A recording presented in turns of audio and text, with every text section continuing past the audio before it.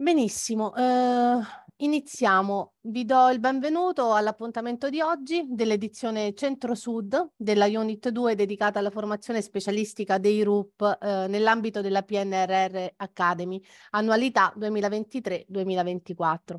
Questa edizione si concluderà il giorno 25 marzo e al termine del percorso avrete la possibilità di ottenere l'attestato di partecipazione. Se non doveste riuscire a seguire i webinar in diretta, potrete seguirli anche in modalità asincrona e avere comunque la possibilità di ricevere l'attestato, ma non oltre il 30 aprile 2024. Vi lascio le solite indicazioni operative, soprattutto per chi ci stesse seguendo per la prima volta. Durante il webinar vi consigliamo di non uscire dalla schermata della lezione in corso per uh, aprire altre pagine, altrimenti il tempo non viene più conteggiato e mh, mhmm, a quel punto eh, perderete la, eh, diciamo, il conteggio del webinar odierno. Faremo una piccola pausa verso la metà della lezione e vi consigliamo di non abbandonare l'aula durante la pausa per evitare problemi nel riconnettervi. Come sempre, nel corso del webinar avrete la possibilità di porre le vostre domande all'interno dell'apposito box e al termine del webinar ci riserveremo gli ultimi minuti per cercare di rispondere ai vostri quesiti. Infine vi ricordo che i materiali, registrazione e slide di oggi saranno disponibili già da domani sulla piattaforma dedicata. Titolo del webinar di oggi, il Green Public Procurement e i criteri ambientali minimi. Qui con noi abbiamo il dottor Silvano Falocco, direttore della Fondazione Ecosistemi, e la dottoressa Dana Vocino, responsabile progetti della Fondazione Ecosistemi. E do il benvenuto a, a voi e per iniziare passo immediatamente la parola al dottor Silvano Falocco. Prego. Buongiorno, buongiorno a tutti.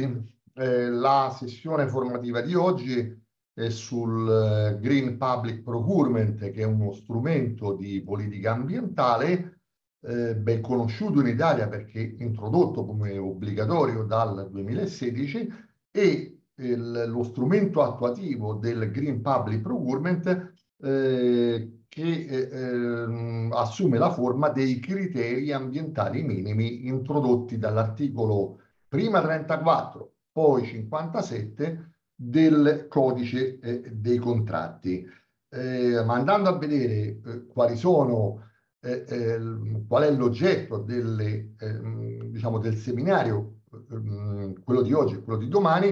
Eh, ehm, oggi vedremo appunto, faremo un'introduzione al GPP e andremo a vedere la, eh, come la, la struttura del codice dei contratti prevede l'adozione dei criteri ambientali minimi e anche dei criteri sociali, a dire la verità, all'interno dei capitolati eh, eh, di gara, dei documenti di gara, eh, mentre poi domani, domani appunto vedremo il piano di azione nazionale GPP e la tassonomia. Per rimanere ad oggi, la prima parte appunto è tutta dedicata all'introduzione al Green Public Procurement. Quando parliamo eh, di Green Public Procurement eh, abbiamo una definizione eh, che è consolidata a livello eh, europeo e che eh, deriva appunto dagli stessi, dalla stessa, eh, ehm, dalle stesse comunicazioni europee. È una definizione non formalizzata in un,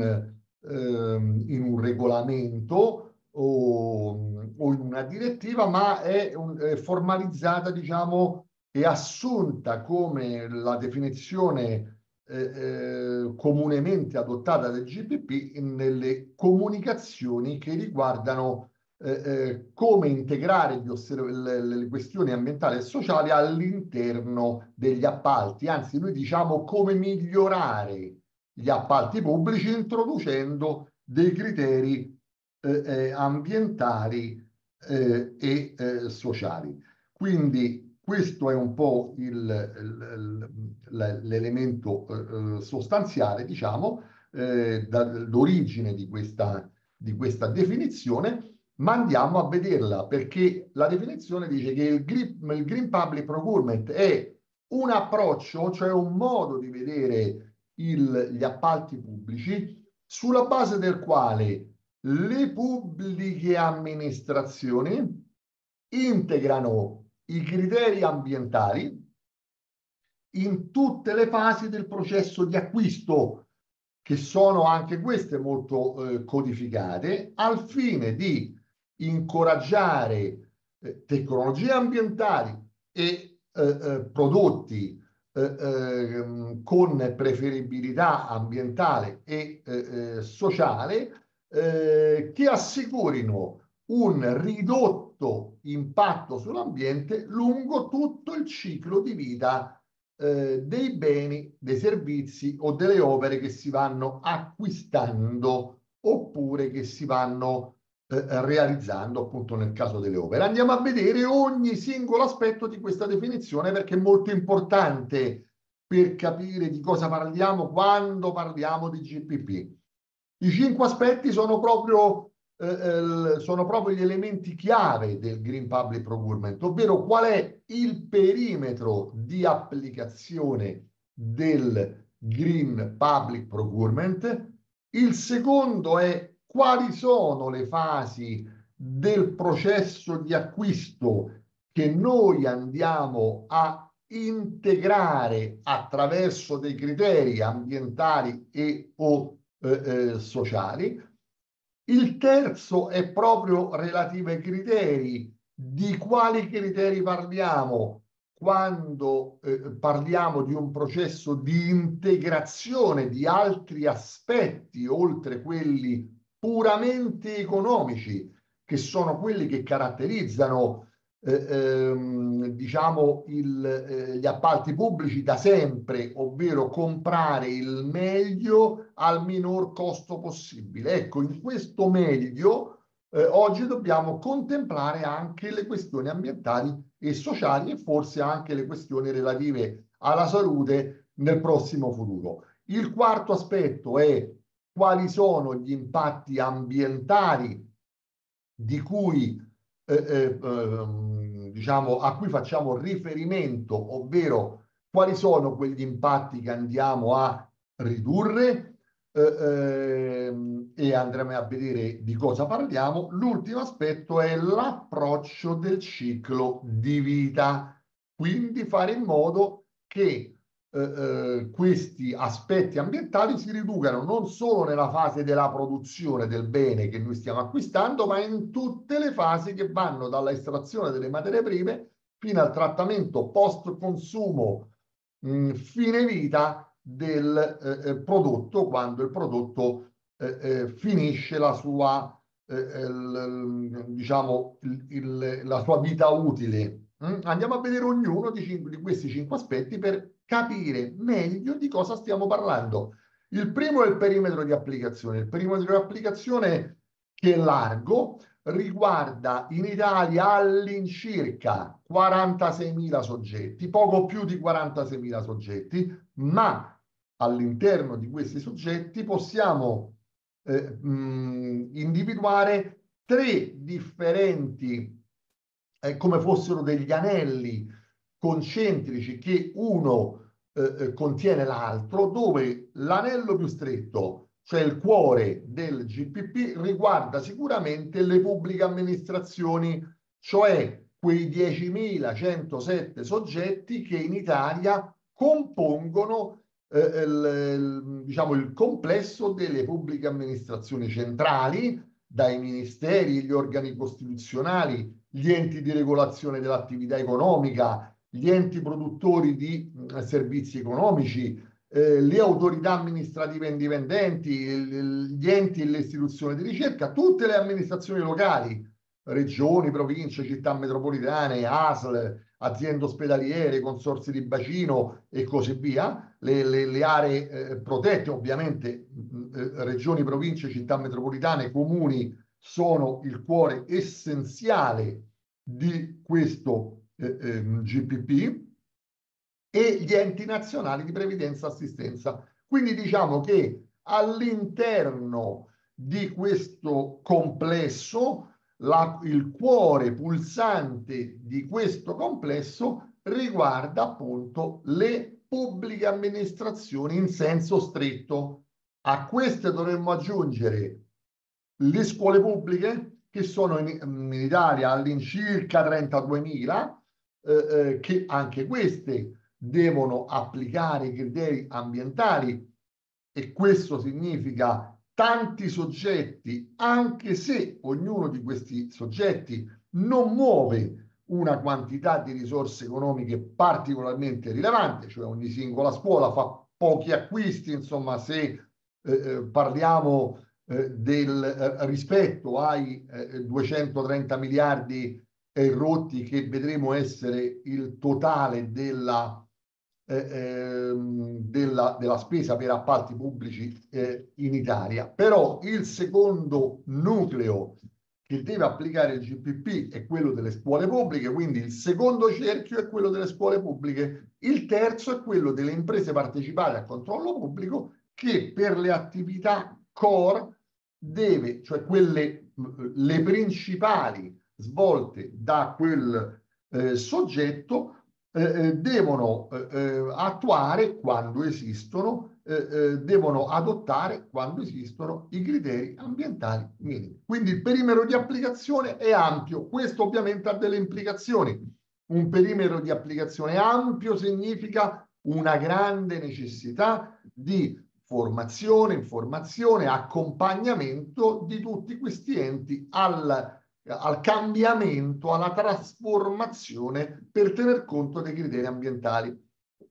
Le fasi del processo di acquisto sono cinque e anche qua ci dobbiamo, dobbiamo ricordare di cosa, di cosa stiamo parlando. Chi ce lo ricorda? Ce lo ricorda il manuale europeo Acquistare Verde eh, eh, che prendendo, riprendendo le, eh, le, le, diciamo, i cinque eh, le cinque fasi definite dalla Commissione, eh, ehm, dalla comunicazione interpretativa della Commissione europea, dice che noi possiamo integrare i criteri ambientali eh, quando definiamo l'oggetto dell'appalto, quando redigiamo delle specifiche tecniche, quando individuiamo la modalità di selezione dei fornitori, quindi potremmo inserire o no dei criteri che riguardano le, le, la qualità soggettiva dei fornitori, quindi ad esempio il possesso di un sistema di gestione ambientale, ovviamente tutte le individuazioni di modalità di selezione dei fornitori, quando adottano dei criteri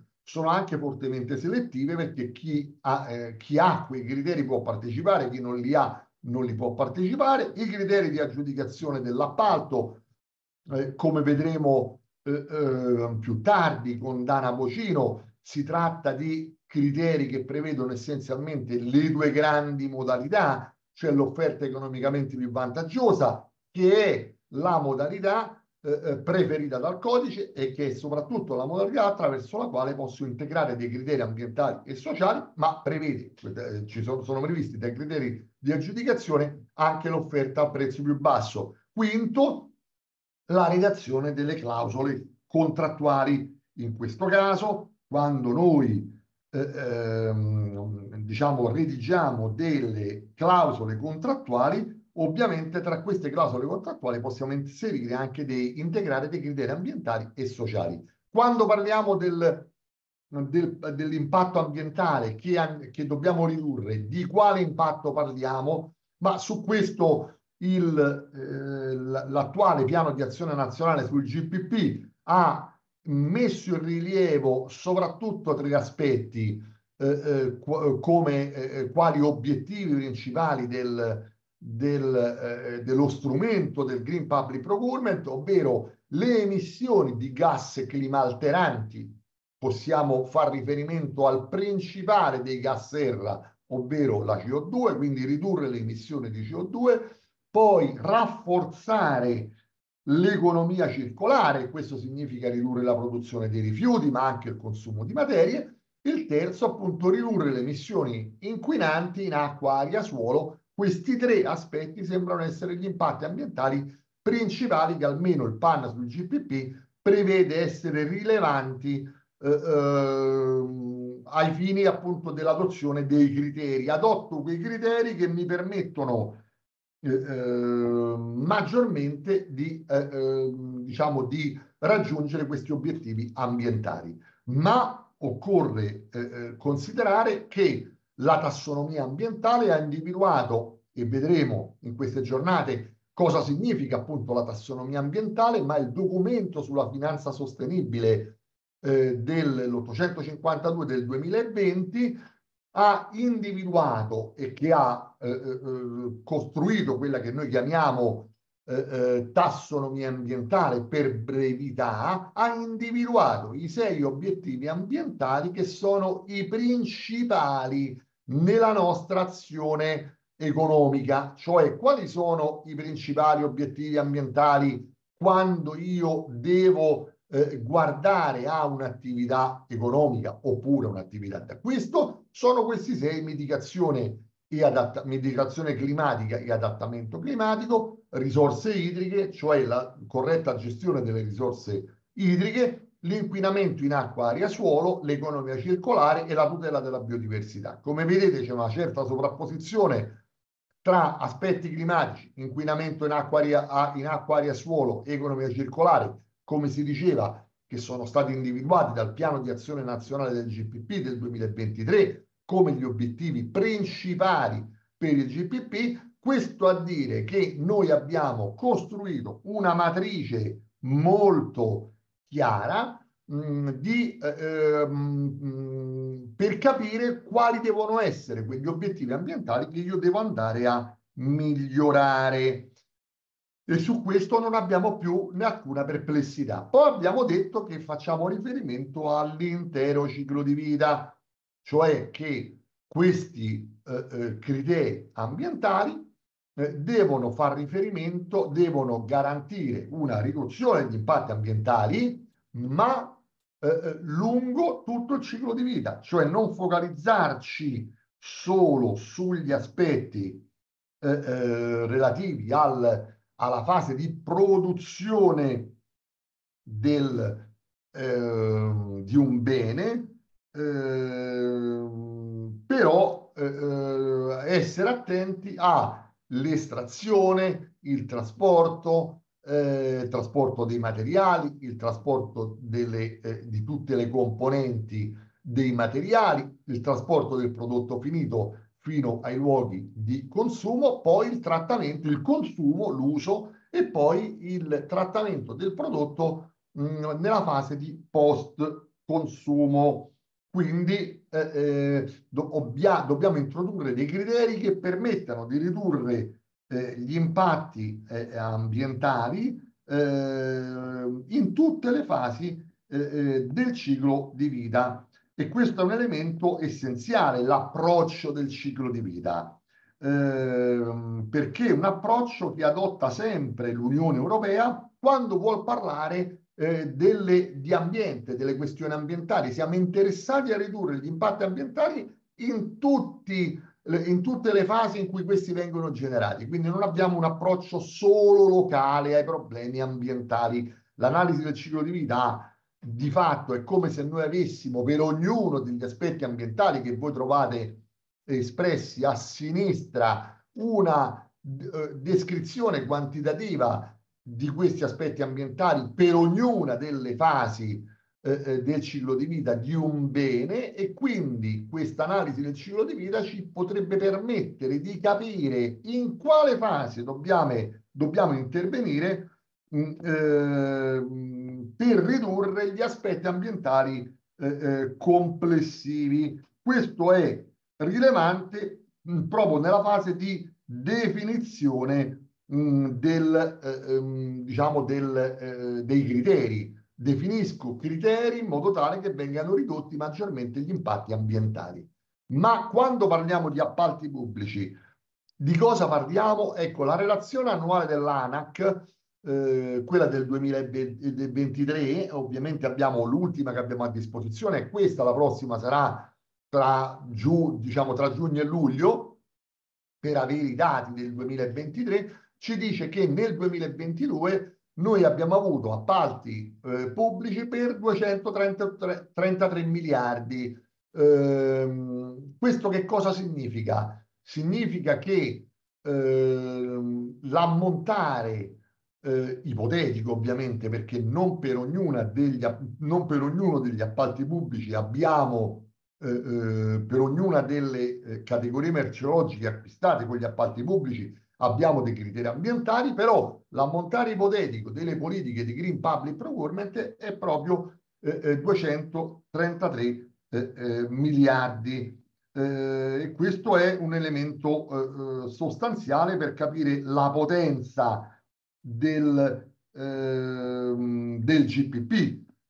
questo è un elemento chiave per capire eh, quanto il GPP è potente nel orientare l'economia. Poi possiamo vedere che questi 233 miliardi sono suddivisi tra forniture, lavori e servizi, appunto 32% di forniture, circa eh, eh, per i lavori circa il 28% e servizi eh, eh, quasi il 40%, eh, che sono la componente principale appunto del, del, eh, degli appalti pubblici. Ovviamente occorre ricordare che nell'ammontare stabilito dall'ANAC non viene incluso eh, tutto l'insieme di quegli appalti che singolarmente eh, ammontano, mh, mm, sono inferiori ai 40.000 euro, cioè eh, per tutti quegli appalti inferiori ai 40.000 euro, eh, quegli appalti inferiori ai 40.000 euro non vengono conteggiati in questi 233 miliardi, il che significa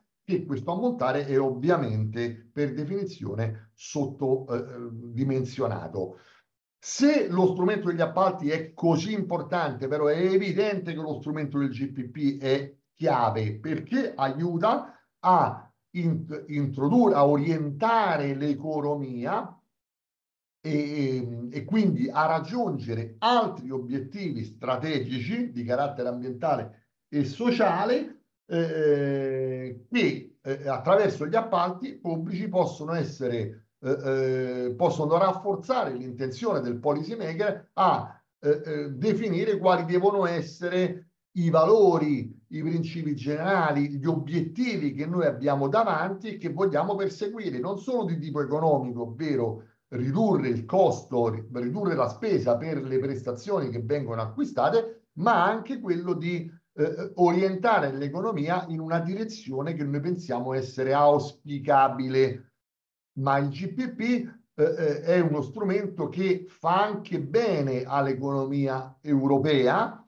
fa bene perché in questo momento eh, il l'ecoefficienza dell'economia europea è ancora molto più alta eh, eh, del, di quella altri, eh, delle altre aree eh, eh, regio regionali, insomma, nel senso eh, altre aree del mondo che possono entrare in competizione con l'Europa, cioè le imprese europee sono maggiormente ecoefficienti. Questo significa che se io utilizzassi eh, lo strumento dell'integrazione eh, dei criteri ambientali e sociali all'interno degli appalti, favorirei indirettamente quelle imprese che posseggono questi criteri e che sono maggiormente imprese europee. Quindi introdurre dei criteri ambientali e sociali all'interno degli appalti favorisce indirettamente l'impresa europea e l'economia europea.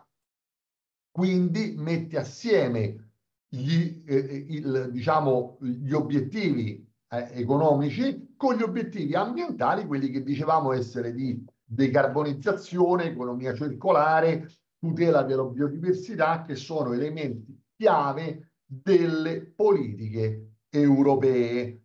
Quindi queste politiche le troveremo sempre all'interno come obiettivi ambientali da perseguire all'interno delle politiche per gli appalti. Quindi possiamo dire che da una parte riusciamo a garantire attraverso l'introduzione dei criteri il raggiungimento degli obiettivi ambientali che ci stiamo prefiggendo, dall'altra attraverso questa introduzione riusciamo a favorire eh, eh, quell'economia e quelle imprese che eh, eh nel corso degli anni hanno adottato dei criteri ambientali e sociali e che sono maggiormente europee rispetto alle, alle altre, eh, eh, diciamo, alle altre, eh, eh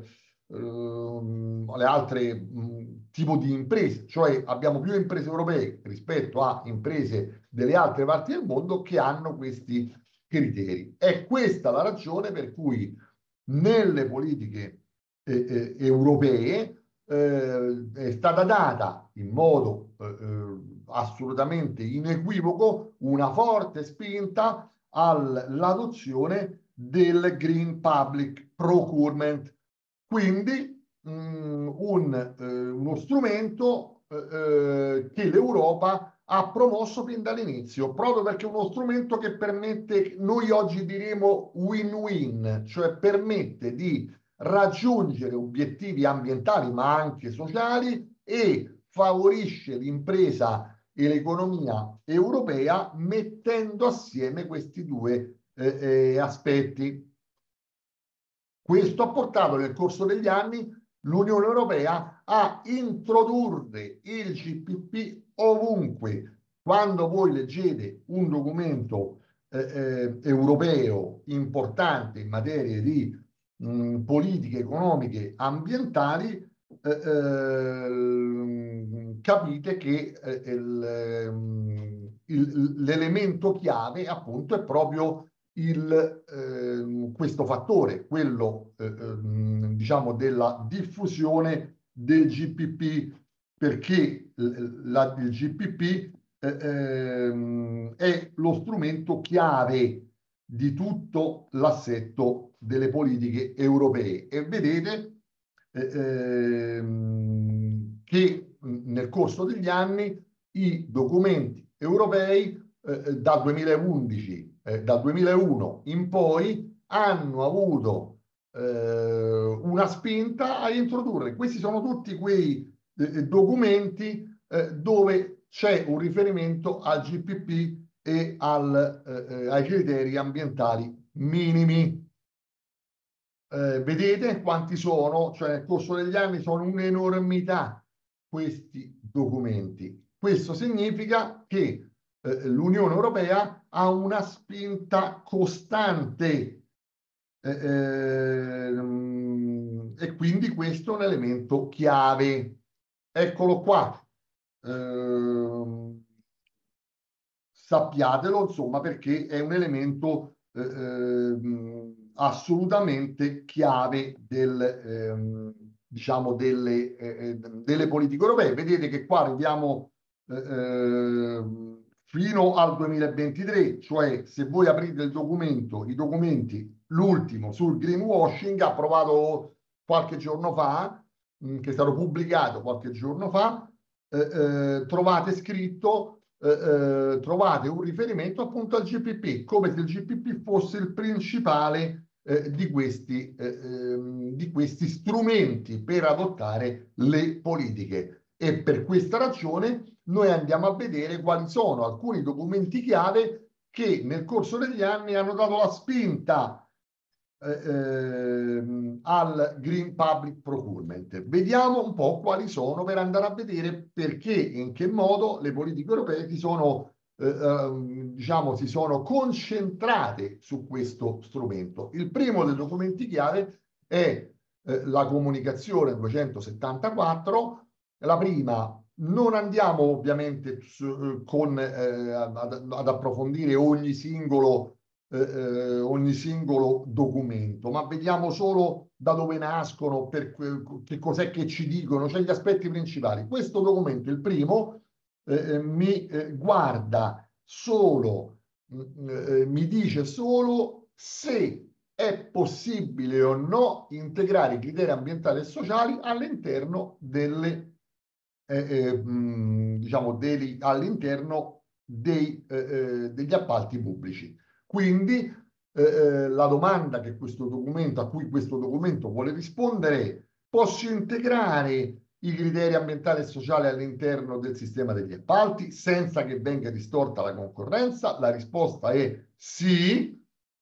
ma a certe condizioni. Le condizioni sono quelle che è inutile approfondirle perché sono quelle che poi vedremo all'interno delle direttive europee e che vedremo poi nella normativa relativa agli appalti pubblici. Ma è fin dal 2001 che l'Unione Europea si è posta la domanda, non è che se introduco i criteri ambientali e sociali distorco la concorrenza? La risposta è no, lo puoi fare a certe condizioni però e quindi le direttive a partire da quelle del 2004 eh, eh, e poi quelle del 2014 e poi le normative nazionali sono proprio a definire le condizioni eh, eh, che mi permettono di introdurre i criteri ambientali e sociali che è preferibile introdurre per orientare l'economia proprio nella direzione di quell'economia win-win dove da una parte si ottengono dei risultati ambientali, dall'altra si eh, ottengono dei risultati economici. Il secondo dei documenti è importante perché è quello relativo alla comunicazione europea 302 eh, del 2003, eh, eh, perché in quel documento si dice che tutti i Paesi membri devono dotarsi di un eh, eh piano di, eh, ehm, di, azione nazionale per il GPP in modo tale ogni Paese membro si deve dotare di questo piano di azione per il GPP e quindi mm, ognuno dei Paesi eh, deve comunicare alla Commissione eh, se ha adottato o no un, eh, uno strumento di questo tipo, proprio a conferma del fatto che ogni Paese membro deve dotarsi di normative che vanno nella direzione dell'adozione dei criteri ambientali e sociali all'interno eh, ehm, degli appalti eh, pubblici. Il terzo documento invece è stato un documento molto importante viene normalmente eh, eh, diciamo eh, considerato eh,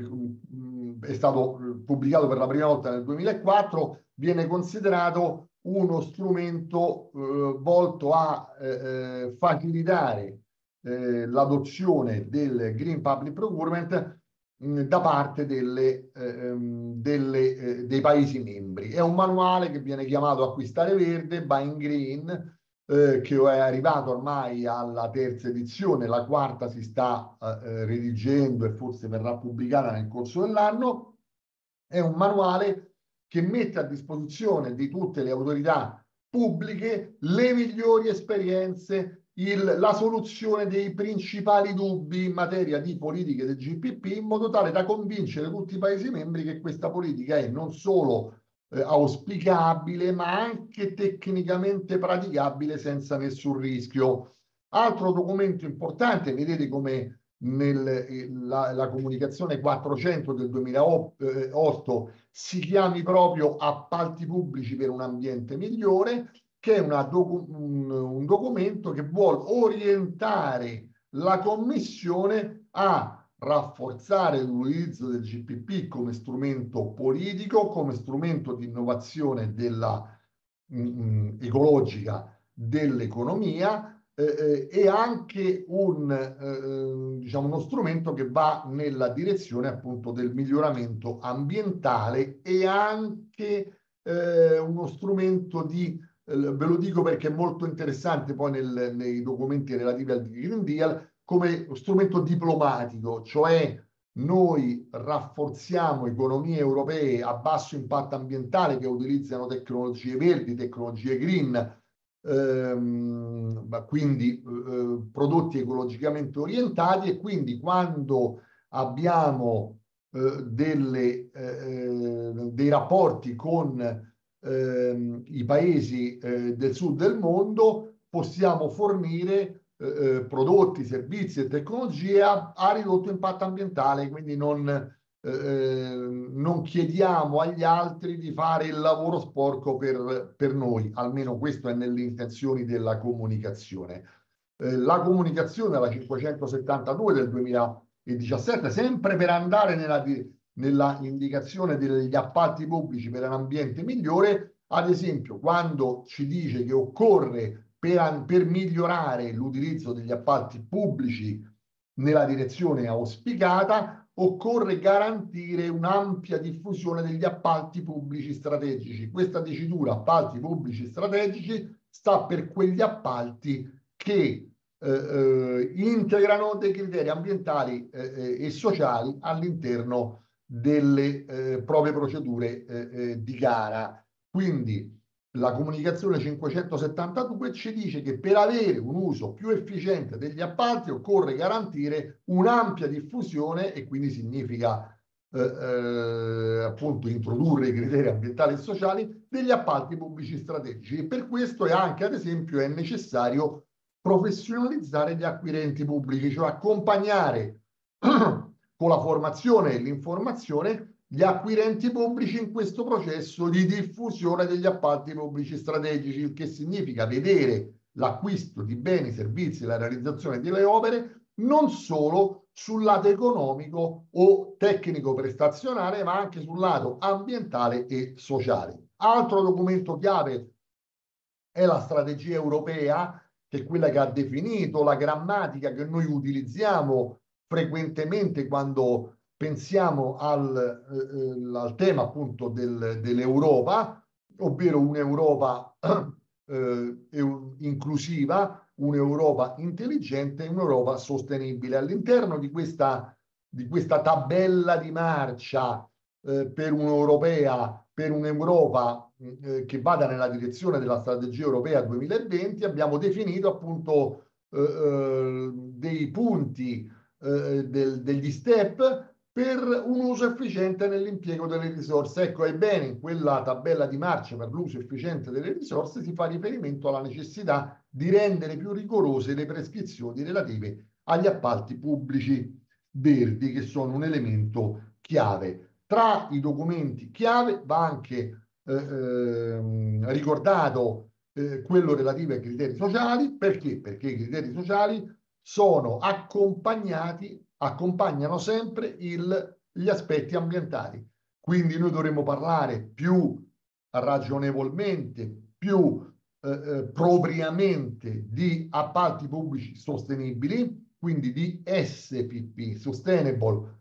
eh, ehm, Public Procurement, ma in ogni caso è una questione di diciture. Noi sappiamo che in questo momento, quando parliamo di acquisti pubblici verdi oppure di Green Public Procurement, in verità stiamo adottando, parliamo anche di criteri sociali. Quali sono questi criteri sociali? Sono quelli indicati abbastanza chiaramente nel documento acquisti sociali e quindi buying social della Commissione europea che ci dice come introdurre dei criteri, garantire dei diritti, eh, promuovere delle condizioni di lavoro dignitoso, eh, avere una progettazione adeguata per tutti che eh, preveda l'utilizzo da parte di tutti, a prescindere dalle loro condizioni di abilità, dei beni e dei servizi che sto acquistando,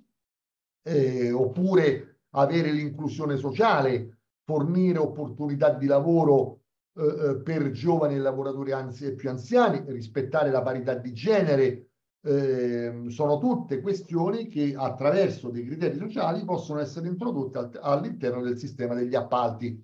L altro documento chiave, eh, realmente chiave del, eh, per, il, diciamo, per il Green Public Procurement è la, comun la comunicazione della Commissione relativa al Green Deal dove all'interno del, del, primo dei documenti, del documento principale e di tutti quelli che vengono dopo, però fin dall'inizio, fin dal documento 640 del dicembre del 2019,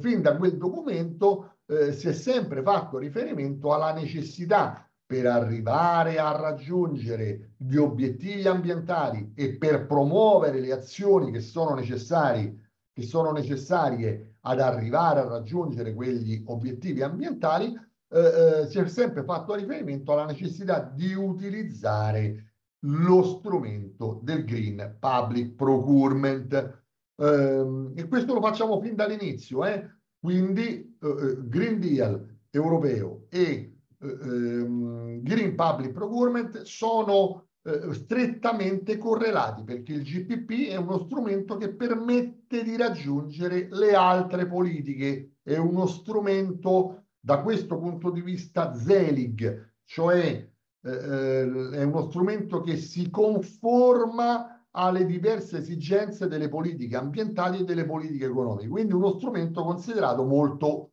utile. Quando noi abbiamo iniziato a dire dobbiamo costruire un, una, eh, ehm, diciamo, in modo anche un po' pomposo, però un piano industriale, quindi industriale, stiamo parlando di industria, della qualità della reindustrializzazione. Un piano industriale del Green Deal abbiamo fatto eh, per l'era a, a, emissioni zero nette, cioè abbiamo detto dobbiamo andare nella direzione della drastica, eh, ehm, del drastico abbattimento delle eh, emissioni, soprattutto di gas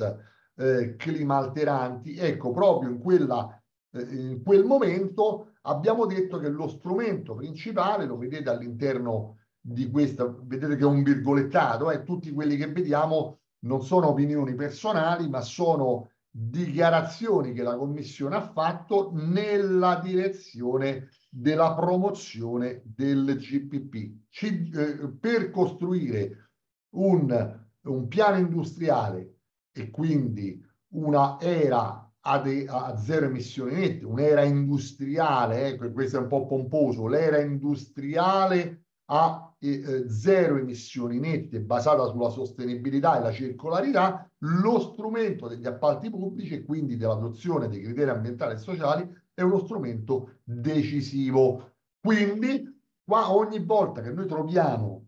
dei documenti che fanno riferimento come matrice originaria al eh, Green Deal europeo, eh, ogni volta che eh, facciamo riferimento a questo, eh, a questo Green Deal europeo, in quel momento abbiamo, eh, eh, e quindi con documenti ad hoc, il piano di investimenti per un'Europa sostenibile, vedremo gli altri documenti, vedete che ogni volta quel documento ribadisce quello che noi già sappiamo, ovvero che occorre andare nella direzione del GPP. Il principale di questi documenti, cioè quello relativo appunto il primo di questi documenti del Green Deal, che è del gennaio del 2020, eh, o quello sul piano di investimenti per un'Europa sostenibile, ci dice addirittura e ci indica proprio la strada, dice che noi dobbiamo avere da una parte una definizione comune sugli acquisti verdi, è quella di cui abbiamo parlato all'inizio, adottare formalmente una definizione che in questo momento è solo informale, dargli una valenza giuridica eh, eh e eh, renderla eh, comune in tutta Europa. La seconda è stabilire dei criteri di obbligatorietà eh, minima e quindi eh, cioè dire eh, che il GPP deve essere obbligatorio e stabilire dei criteri diciamo di, minimo per il GPP terzo ovviamente è l'elemento ehm, sostanziale quello di adottare eh,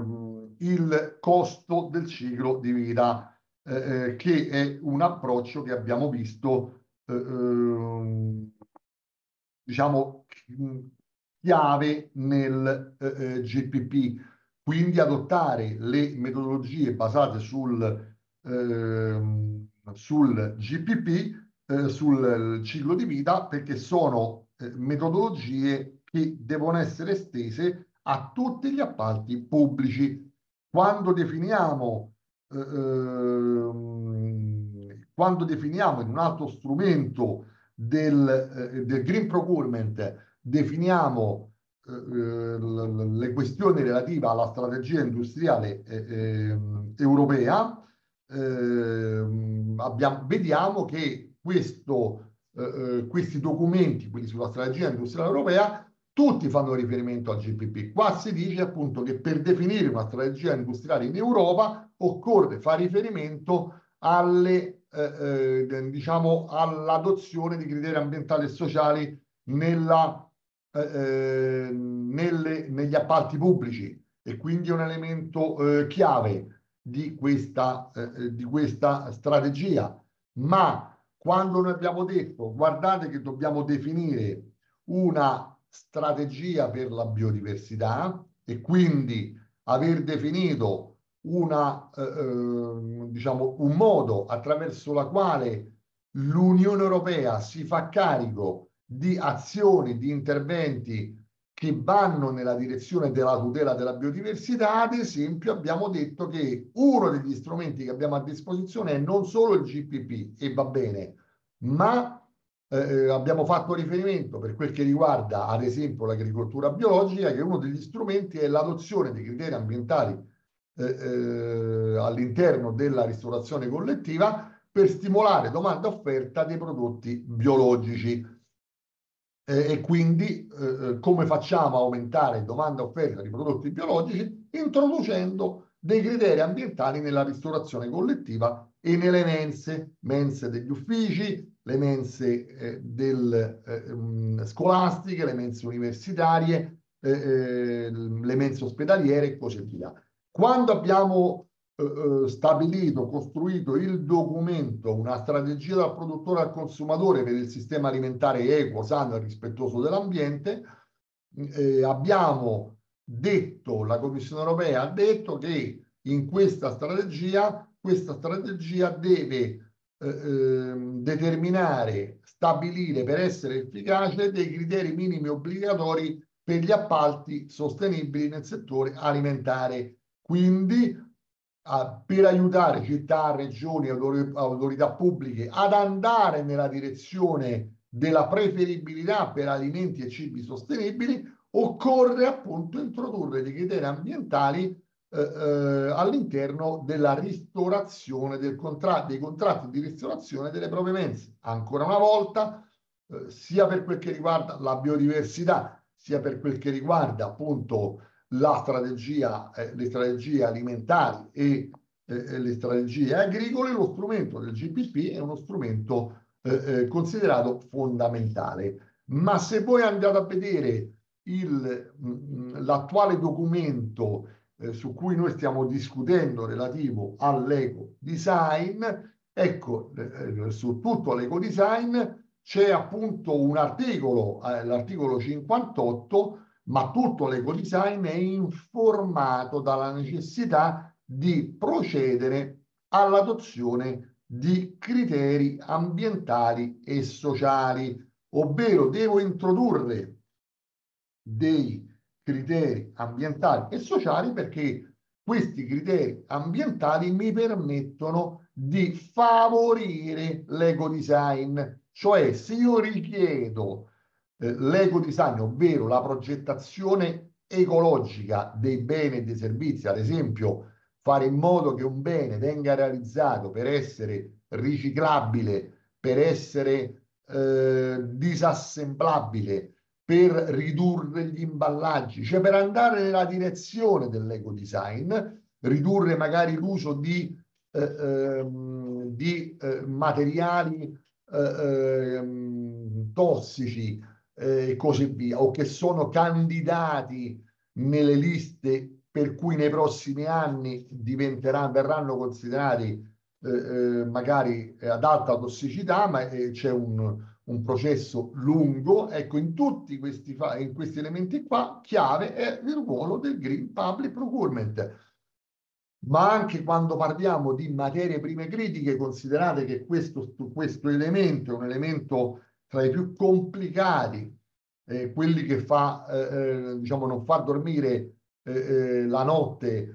molti legislatori, ovvero quello di individuare il modo in cui l'Unione Europea, che sta puntando tutto sull'economia digitale e l'economia sostenibile, ad un certo punto le, le, le, diciamo, l'Europa non si trovi eh, ad avere necessità di materie prime critiche, eh, sono quelle, eh, ehm, quelle eh, terre rare o minerali rari che sono necessari per realizzare quelle eh, attività, allora si dice che si possono eh, utilizzare degli incentivi come gli appalti pubblici per favorire il recupero de, di, que, di, quelle terre rare, di quelle, di quelle eh, materie eh, eh, critiche che sono presenti all'interno dei prodotti, particolarmente quelli dell'elettronica. Quindi potrà inserire dei criteri ambientali all'interno del GPP che prevedono ad esempio che incentivino chi realizza dei prodotti a recuperare le materie prime critiche, perché altrimenti in Europa che non abbiamo materie prime critiche, non siamo luoghi di estrazione di queste materie, ci troveremo eh, ehm, tra qualche anno nella necessità di importare queste materie da chi ne dispone, quindi aumentare il tasso di riciclo. Ecco, di queste materie io ve l'ho indicate per capire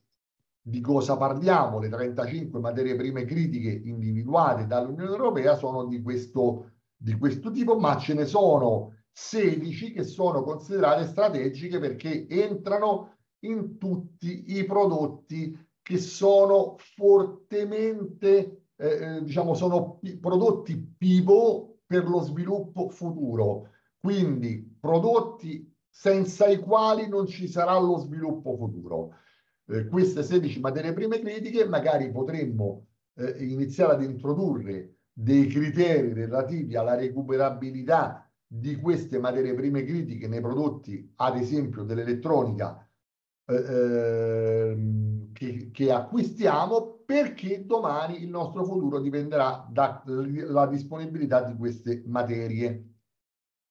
Ovviamente, ma questo ne parleremo soprattutto insomma, in seguito anche la finanza sostenibile, che è uno dei documenti chiave dell'Unione Europea,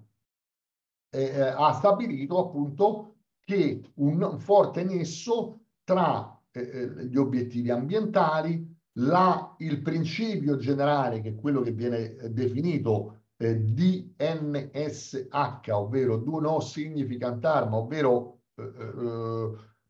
tutti eh, acquisti di beni e servizi mh, che non arrecano un danno significativo eh, eh all'ambiente, ecco, in tutti questi eh, casi, quando si è fatto riferimento all'approccio del DNSH, questo approccio DNSH si è molto legato al GPP e ai criteri ambientali minimi.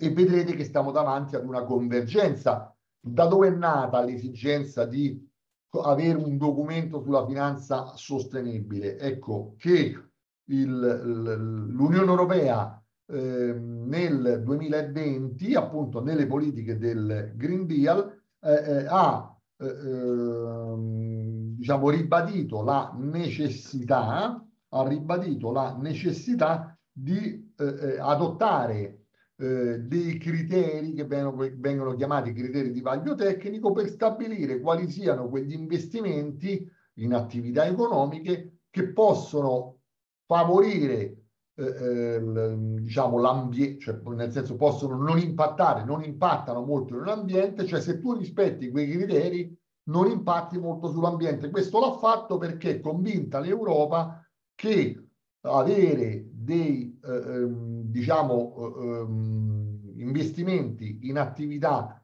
che eh, non impattano eh, ehm, in modo significativo sull'ambiente riduca anche il rischio economico di questi investimenti. Quindi l'Unione Europea dice, siccome il rischio economico legato ad esempio al cambiamento climatico è molto forte, io per ridurre il rischio economico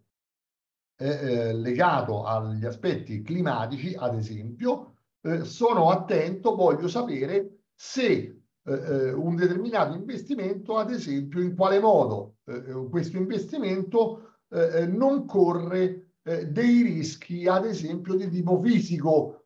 non è che io sto finanziando degli investimenti che domani,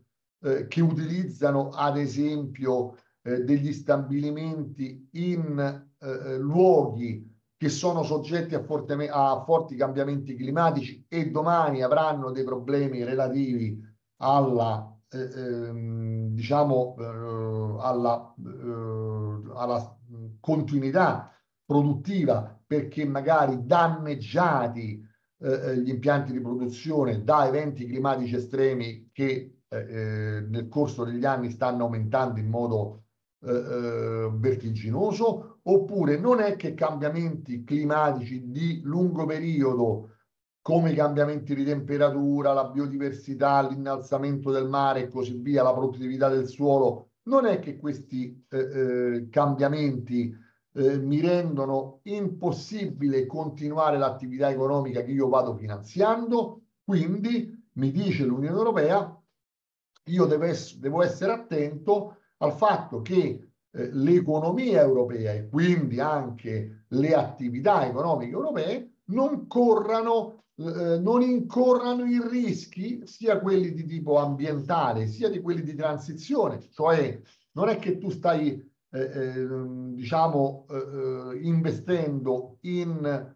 mm, in attività che ad esempio hanno tecnologie superate oppure eh, dove ci sono rischi giuridici per controversie giuridiche molto rilevanti oppure che non tengono conto delle politiche ambientali europee che nel frattempo vanno mutando in modo molto eh, impetuoso in merito all'utilizzo di determinati, eh, ehm,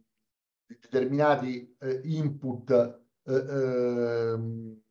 di materia, ecco, questo elemento qua è molto eh, rilevante. Quindi l'Unione Europea ha voluto attraverso il, il, documento sulla finanza sostenibile, ma anche successivamente con i documenti sul PNRR, ha voluto far riferimento, vedete qua, a quattro categorie eh, di, eh, diciamo, di eventi estremi, l'aumento delle temperature, la ventosità, gli eventi connessi a, eh, eh diciamo, alle acque, e quindi dagli stress idrici, siccità alle forti precipitazioni o addirittura alle inondazioni e le masse solide, cioè le valanghe, le frane, eh, l'erosione del suolo. Eh, all'interno del PNRR l'Unione Europea eh, eh, vuole che tutti i piani, quando ne, diciamo, nelle azioni finanziarie attraverso i piani nazionali di ripresa e, e, e resilienza, venga rispettato il principio di non arrecare danno significativo all'ambiente e quindi vi chiede intervento per intervento se voi avete tenuto conto di come questi rischi possono impattare sull'attività che voi vorreste vedere finanziata, proprio per evitare che si vada finanziando un'attività che domani è fortemente sottoposta a rischi di tipo ambientale, soprattutto per queste quattro categorie. Quindi è questo il motivo per cui l'Unione Europea ha stabilito, in particolare attraverso questa tassonomia, eh, eh, ha stabilito che tra i requisiti fondamentali del, eh, per dire che un'attività ambientale, un'attività economica è sostenibile oppure no, e quindi se è sostenibile non è eccessivamente rischiosa. Se non è sostenibile invece è molto rischiosa, vuole che venga, diciamo, vengano rispettati eh, eh, in modo, eh, vengono perseguiti in modo sostanziale almeno uno dei sei obiettivi ambientali, che non venga arrecato un danno significativo all'ambiente per gli altri. Ricordiamo che gli obiettivi ambientali sono sei, i sei che abbiamo visto in una delle slide iniziali, eh, quindi eh, eh, mitigazione climatica, adattamento climatico, gestione delle acque, eh, riduzione degli inquinanti in acqua, aria, suolo, eh, eh, economia circolare e tutela della biodiversità. Quindi da una parte devi garantire quell'attività economica che contribuisce in modo sostanziale ad almeno uno dei, dei, sei obiettivi ambientali che sono stati definiti, ma non arrechi un danno significativo agli altri cinque, eh, per cui magari non ha, non, che magari non eh, non migliori in modo sostanziale. Infine però ha anche detto che devi rispettare delle garanzie minime di salvaguardia sociale. Vedete come anche nella tassonomia, eh, ehm, come anche nella tassonomia le, eh, gli aspetti ambientali e gli aspetti sociali sono strettamente collegati, strettamente collegati. Eccoli qua i sei aspetti della tassonomia ambientale, ma sono quelli che abbiamo visto in una delle slide eh, precedenti, questi sei obiettivi sono quelli di cui vi parlavo prima, e i diritti umani e sociali che invece abbiamo detto sono le clausole di salvaguardia che la tassonomia vuole che vengano rispettate, essenzialmente parliamo del rispetto delle convenzioni fondamentali dell'Organizzazione Internazionale del Lavoro, cioè dell'ILO,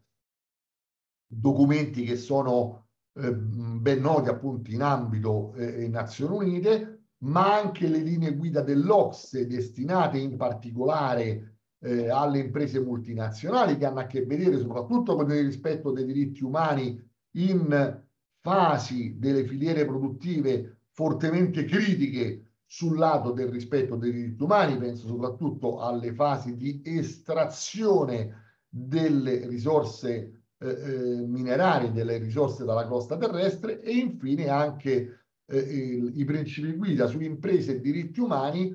Mm, noi abbiamo eh, appunto un organismo, il CIRU, che eh, si occupa appunto del presso il Ministero degli Esteri, che si occupa del rispetto dei principi guida su imprese e diritti umani, tutti questi documenti mi vanno a definire che cos'è che l'Unione Europea intende quando nella tassonomia ambientale fa riferimento alla necessità di avere delle clausole di salvaguardia sociale. Inoltre l'Europa nel corso degli ultimi anni, in particolare al vertice di Gedeberi del 2017, mh, ha approvato, poi ribadito appunto a Porto nel 2020, eh, quello che si chiama il pilastro europeo dei diritti sociali. Pilastro europeo dei diritti sociali, il che significa appunto una serie di condizioni che hanno a che vedere con la pari opportunità e eh, l'accesso equo al mercato del lavoro, le condizioni di lavoro eque, cioè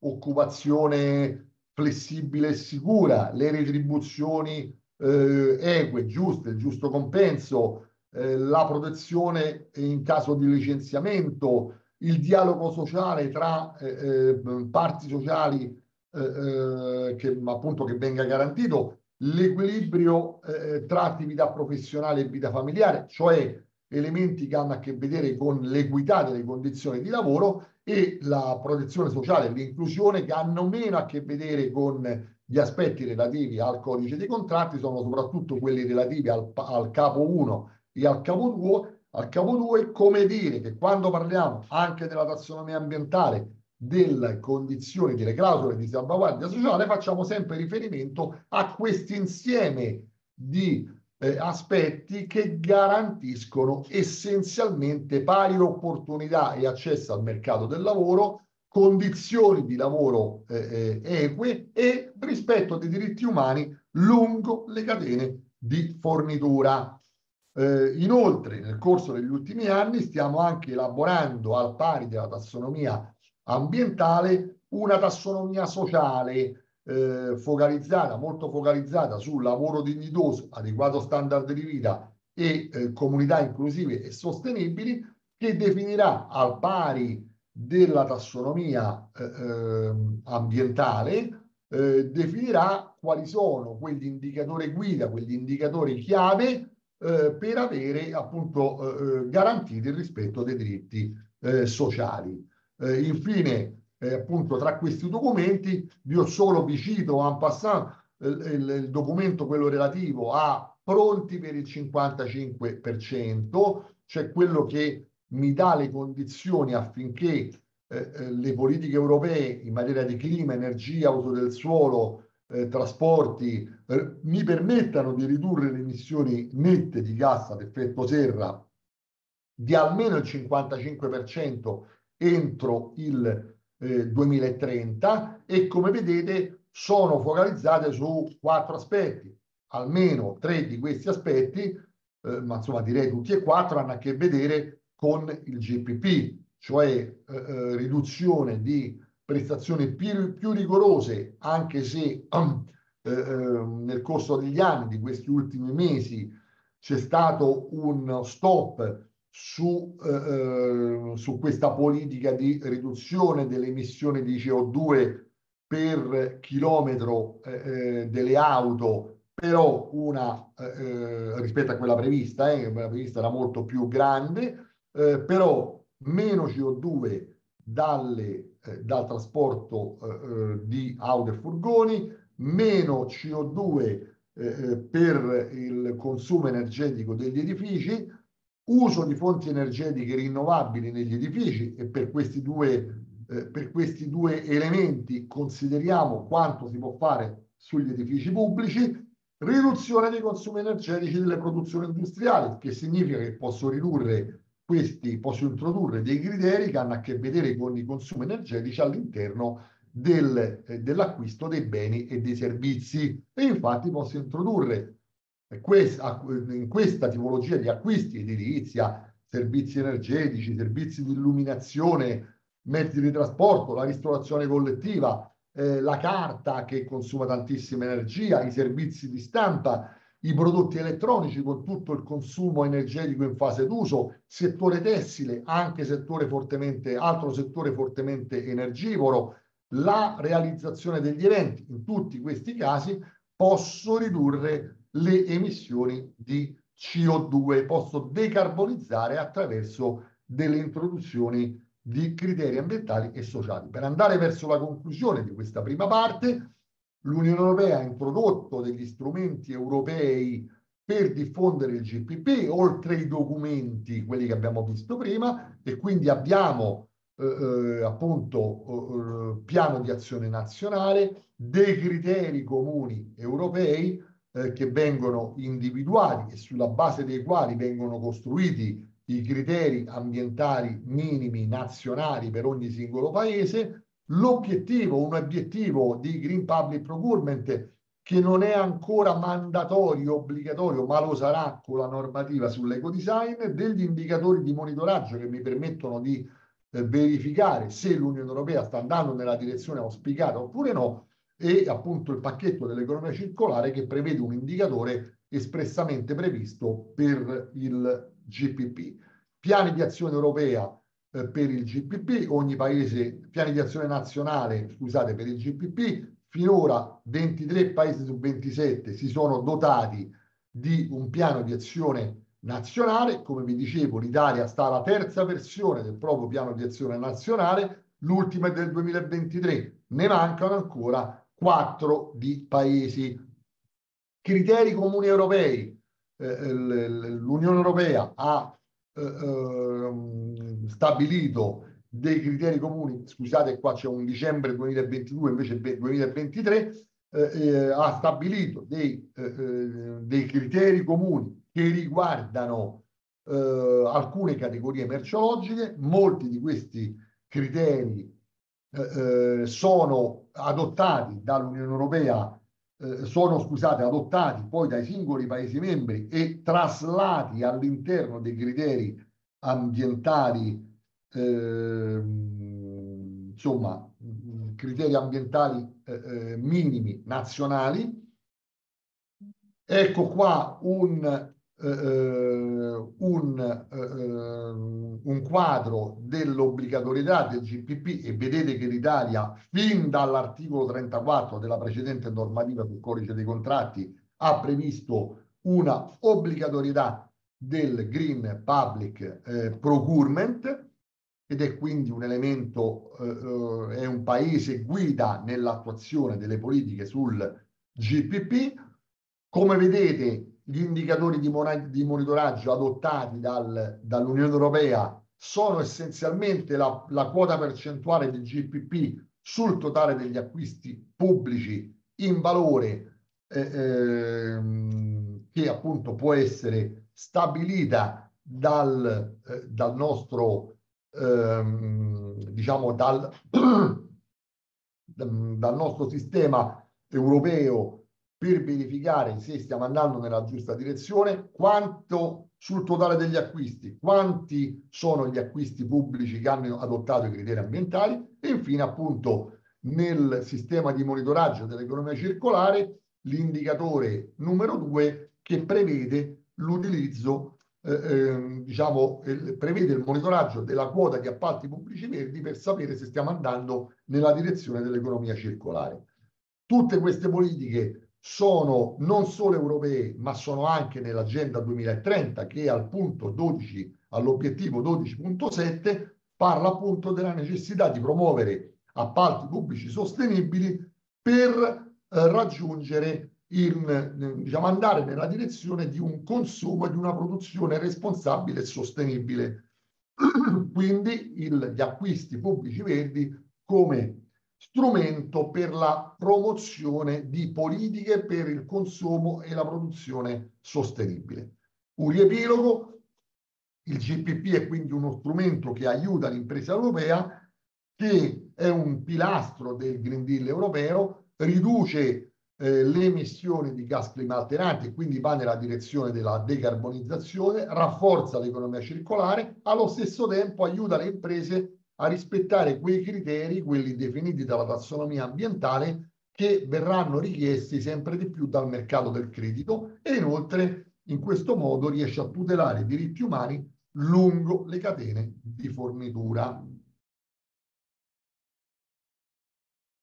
Direi di qua possiamo anche interrompere questa prima fase. Perfetto, grazie mille, grazie mille, dottor Falocco. Ehm, prima di passare la, la parola alla dottoressa Vocino per la seconda parte, facciamo una pausa e ci ritroviamo qui alle 10.25. Grazie a tutti e a tra poco. A dopo.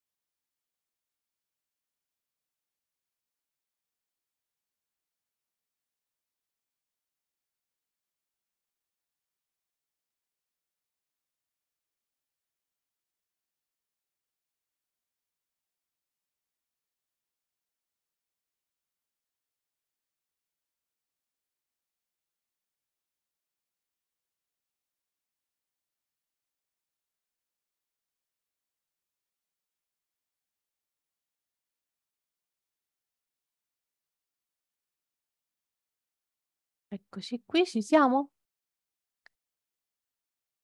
Possiamo già iniziare a dare la parola alla dottoressa Vocino.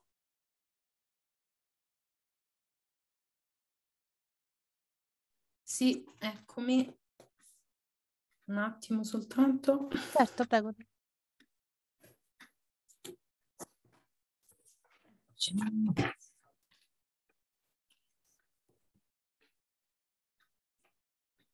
Mi vedete, vedete la, le slide? Perfettamente, sì. Ok, benissimo. Prego.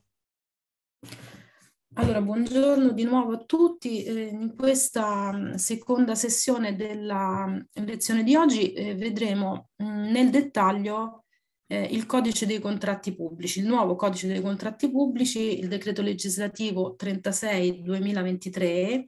che ha stabilito scusate, non, non va avanti la slide. Ecco,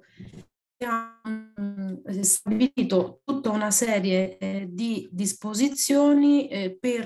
rendere sempre più eh, operativo il Green Public Procurement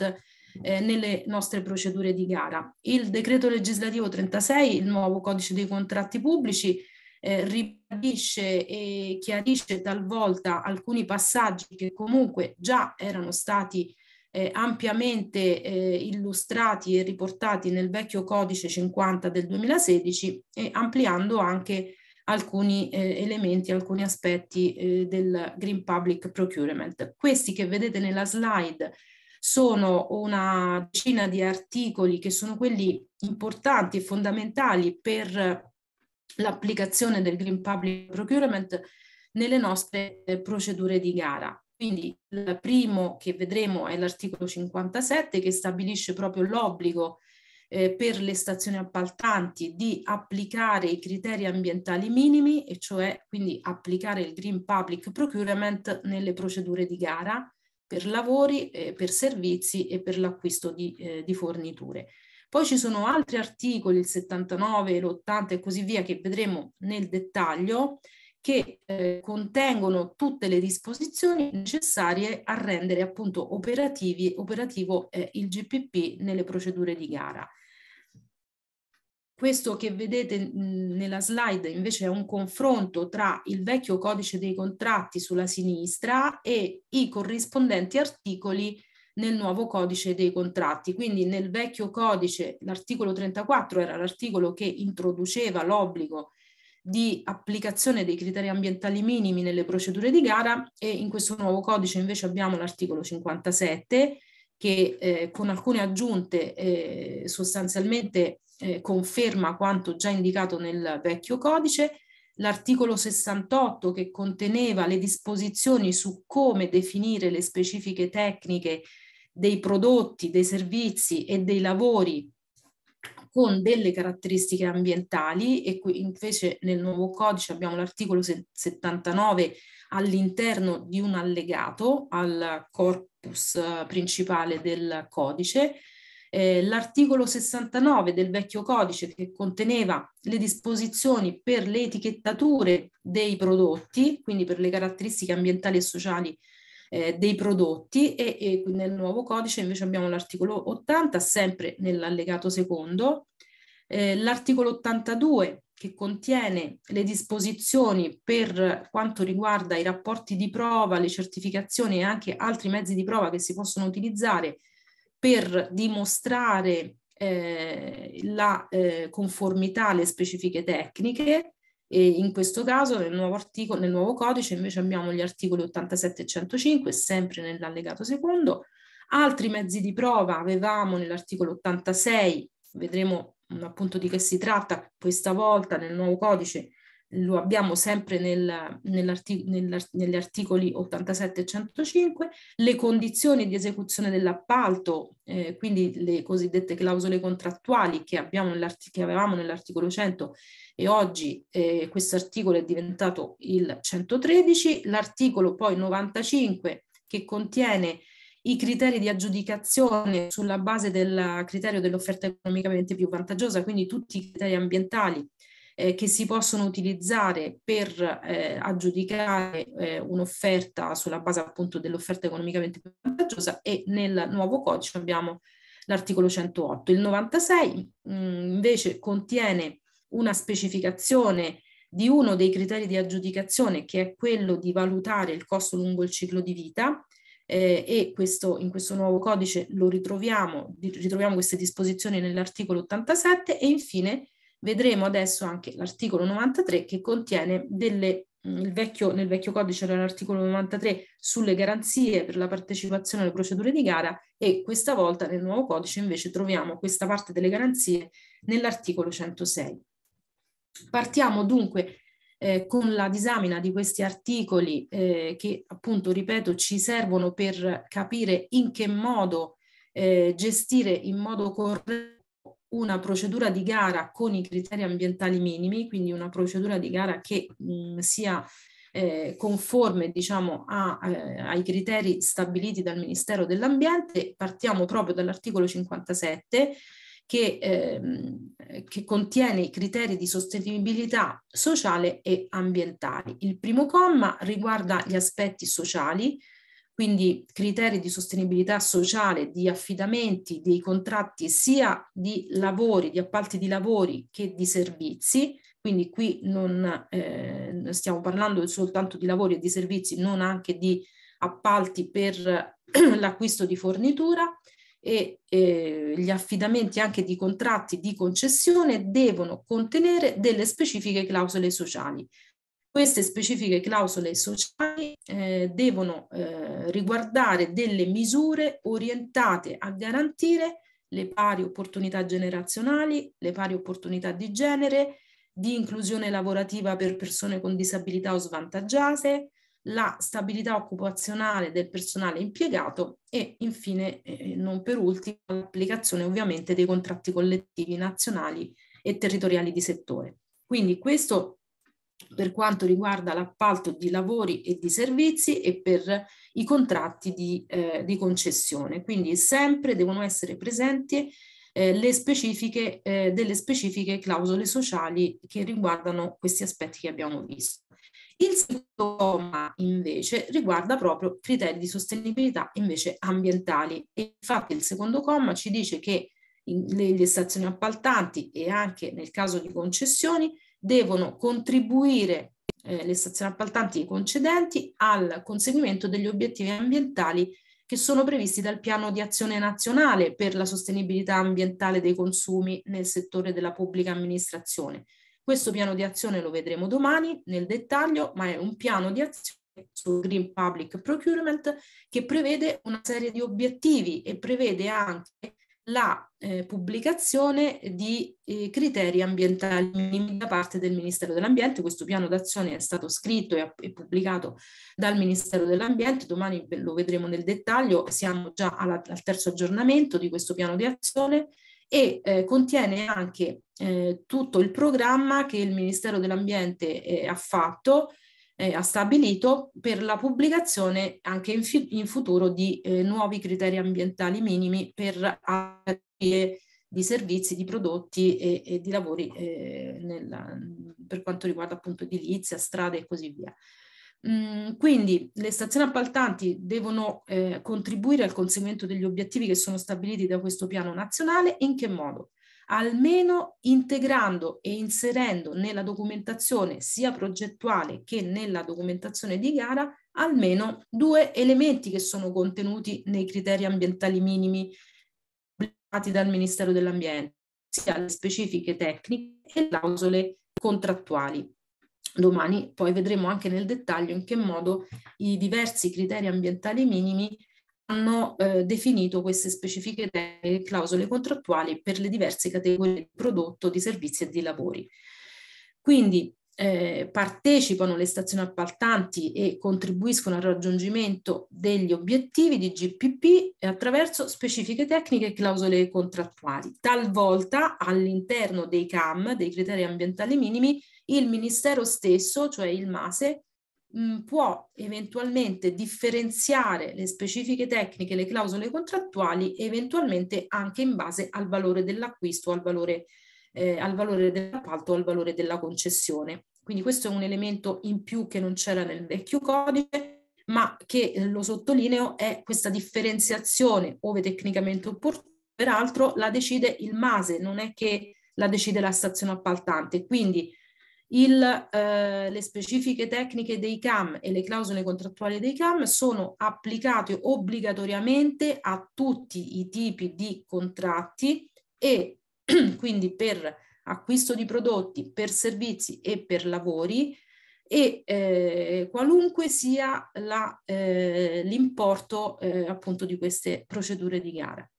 Quindi sono criteri obbligatori, le specifiche tecniche, le clausole contrattuali per qualunque tipo di eh, appalto e di entità dell'appalto. È solo il MASE che decide eventualmente all'interno degli stessi CAN se graduare, diciamo così, le specifiche tecniche, quindi l'impegno eh, e la, la, la, l'impegno per quanto riguarda le, le, le, clausole contrattuali o le specifiche tecniche in base al valore dell'appalto, non è la stazione appaltante. Inoltre, questo comma 2 prosegue dicendo che i CAM contengono anche dei criteri premianti che devono essere tenuti in considerazione quando si vanno a definire i criteri per l'offerta economicamente più vantaggiosa. Quindi tutti i CAM contengono criteri premianti che devono essere tenuti in considerazione. Sono, diciamo così, l'obbligo è meno, eh, meno evidente rispetto a specifiche tecniche e clausole contrattuali,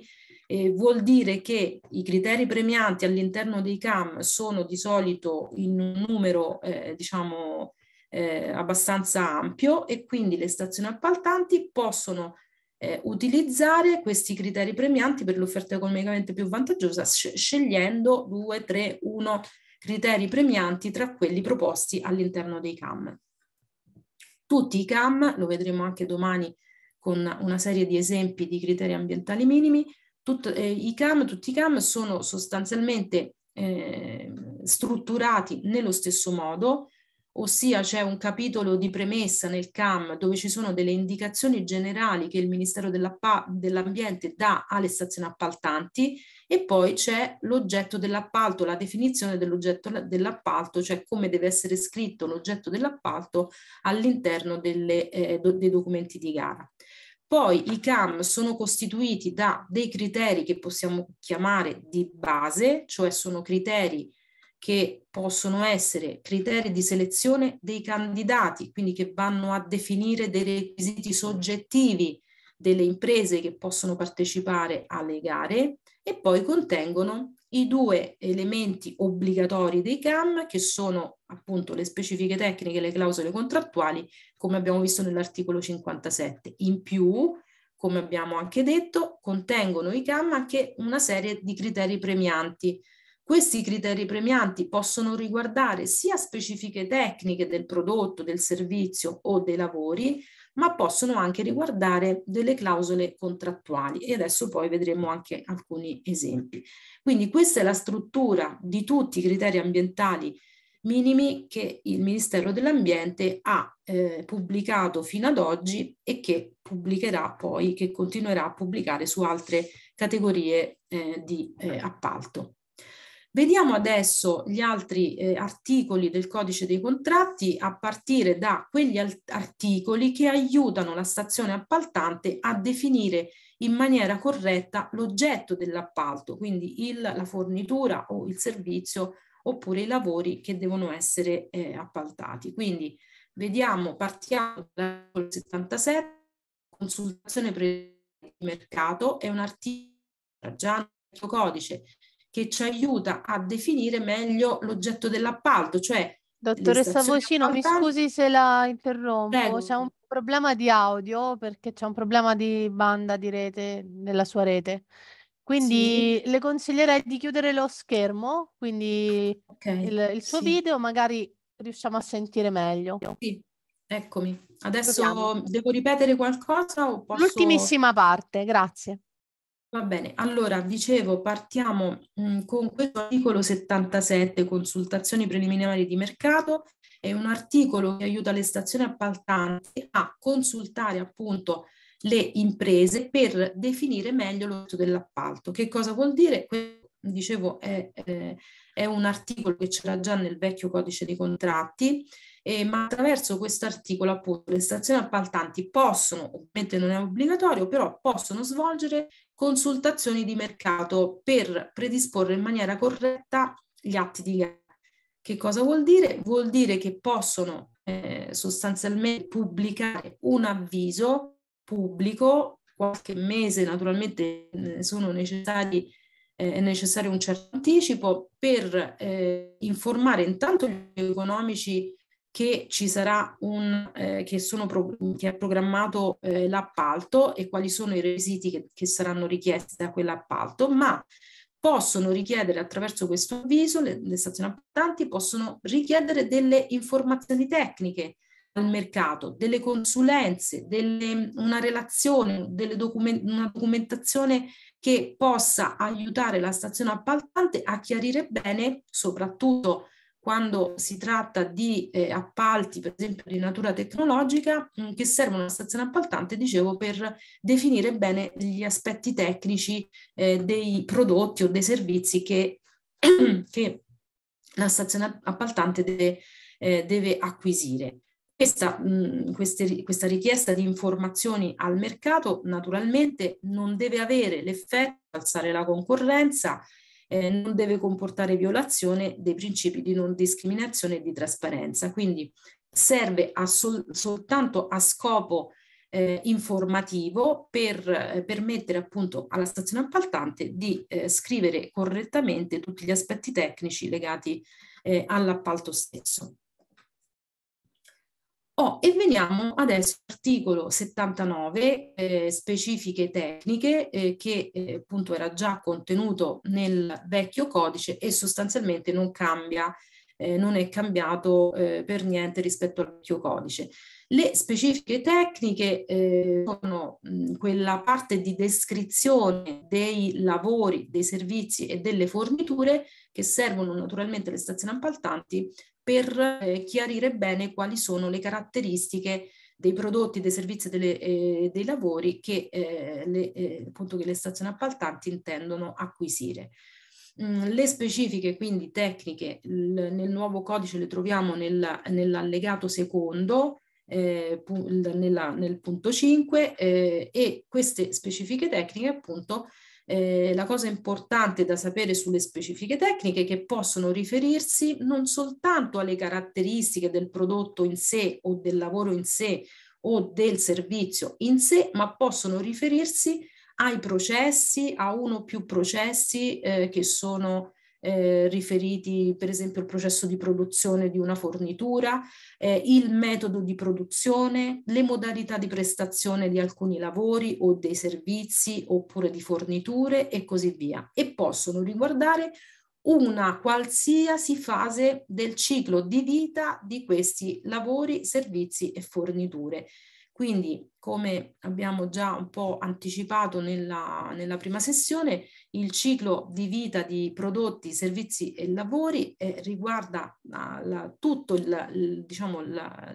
tutti i processi a partire dall'estrazione della materia prima fino al fine vita delle forniture, dei servizi e dei lavori quindi queste specifiche tecniche possono riguardare una qualunque fase del ciclo di vita, la fase di estrazione della materia prima, quindi della materia prima con cui produco il, la fornitura o, o, i beni che mi occorrono per eseguire un servizio, fino al, fi, al fine vita, per esempio le modalità eh, di eh, gestione appunto eh, della dismissione di un uh, prodotto tecnologico e così via. Quindi queste specifiche tecniche possono riguardare non soltanto gli aspetti diciamo, legati al prodotto finito, alla fornitura in sé, ai lavori, ai servizi, ma un qualsiasi processo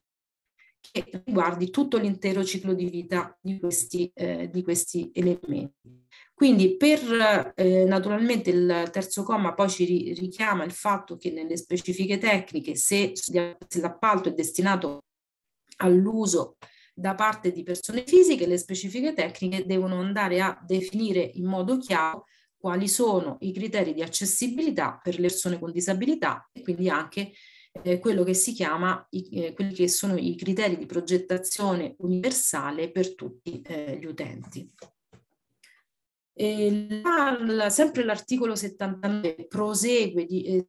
in che modo le specifiche tecniche devono essere formulate, possono essere, possono essere formulate in due modi le specifiche tecniche. Tutto questo naturalmente lo ritroverete nei CAM stessi, nelle specifiche tecniche dei CAM, perché appunto anche le specifiche tecniche dei CAM sono esattamente eh, scritte dal Ministero dell'Ambiente seguendo mh, precisamente queste disposizioni del codice. Quindi le specifiche tecniche anche nei CAM le vedrete formulate in due forme diverse, in due formulazioni diverse. La prima è in termini di prestazioni o di requisiti funzionali, quindi nel nostro caso, nel caso dei CAM, atterranno queste prestazioni e requisiti funzionali alle caratteristiche ambientali. In questo caso devono, deve esserci una descrizione sufficientemente precisa perché i proponenti devono capire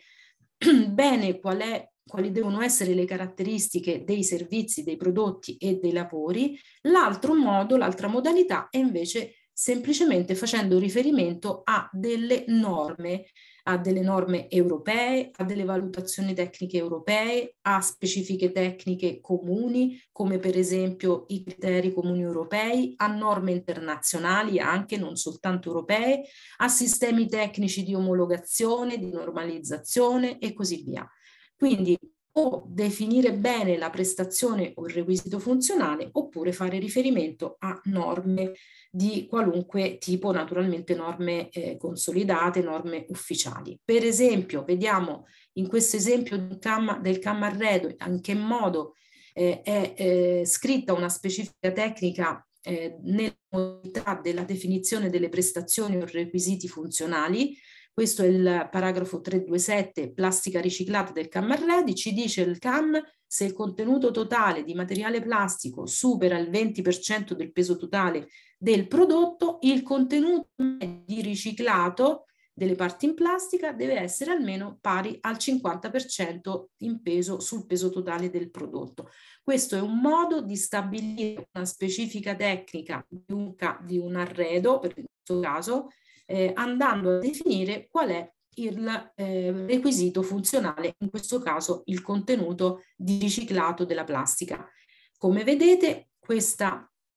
eh, questa prestazione, questo requisito funzionale riguarda una fase ben precisa del ciclo di vita del, dell'arredo in plastica, della parte diciamo di arredo in plastica, cioè il prodotto finito, se vogliamo anche la fase di produzione, perché nella fase di produzione naturalmente che si vanno a mescolare le eh, materie prime con eh, i, eh, le materie invece con, con, con contenuto di, eh, di riciclato. Però è definita la prestazione su una fase precisa del ciclo di vita del prodotto. Questo invece è la modalità per scrivere le specifiche tecniche e cioè facendo riferimento a delle norme tecniche. Questo ad esempio è il CAM ristorazione, il requisito che eh, riguarda gli imballaggi degli alimenti, il CAM ci dice che l'imballaggio deve rispondere ai requisiti di cui all'allegato F della parte quarta del decreto legislativo 152, così come più specificatamente descritto nelle pertinenti norme tecniche e in particolare ed elenca le norme tecniche che riguardano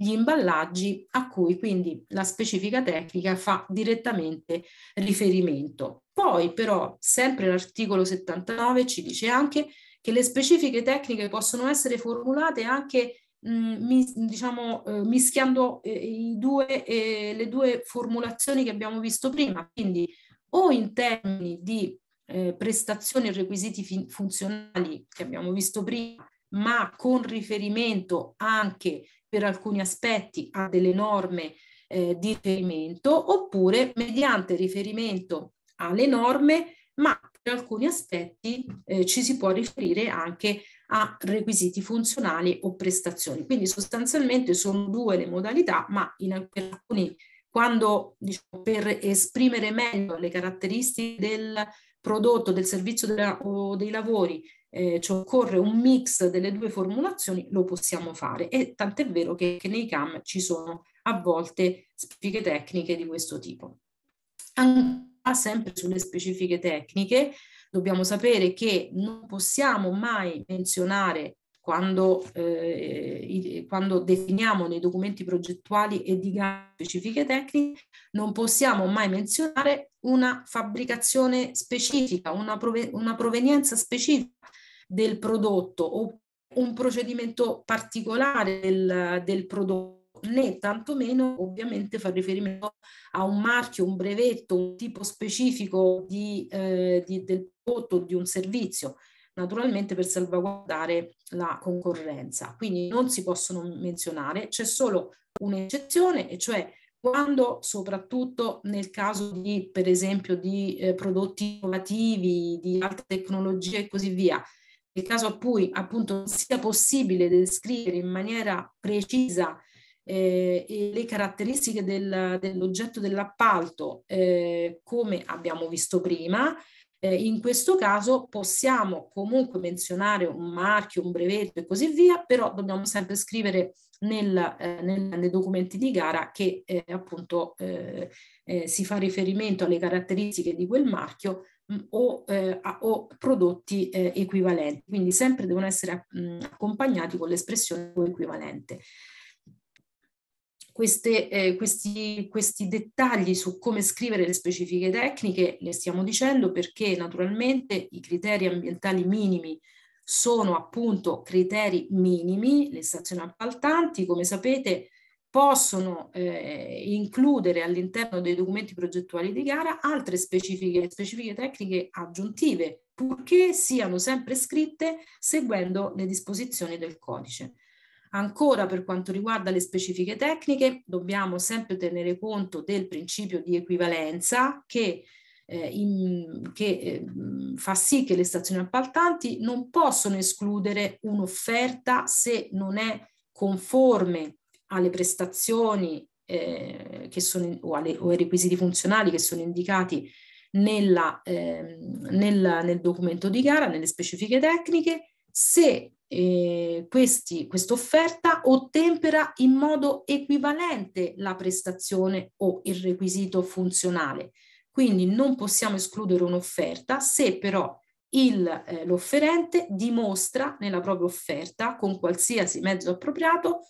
eh, compresi i mezzi di prova che poi vedremo nell'articolo 105, eh, se dimostra appunto che le soluzioni proposte ottemperano in maniera equivalenti alle prestazioni e ai requisiti funzionali eh, delle specifiche tecniche che sono indicate nel bando di gara. Che cosa vuol dire, per esempio, se sto facendo un appalto per l'acquisto di calzature DPA, DPI, cioè calzature eh, per esempio per, per lavoro, eh, con, se nelle specifiche tecniche scrivo per esempio che è necessaria una suola di poliuretano per l'assorbimento eh, dei traumi eh, del, nella, durante, la, appunto la, il, durante la camminata e così via, eh, se eh, l'offerta piuttosto che il poliuretano mi offre una scarpa eh, che ha una suola invece con un altro, uno strato, diciamo un prodotto non di poliuretano ma di un altro prodotto che però ottempera in modo equivalente alla stessa funzione, cioè la, funz la funzione di attutire i traumi, io non posso escludere quell'offerta.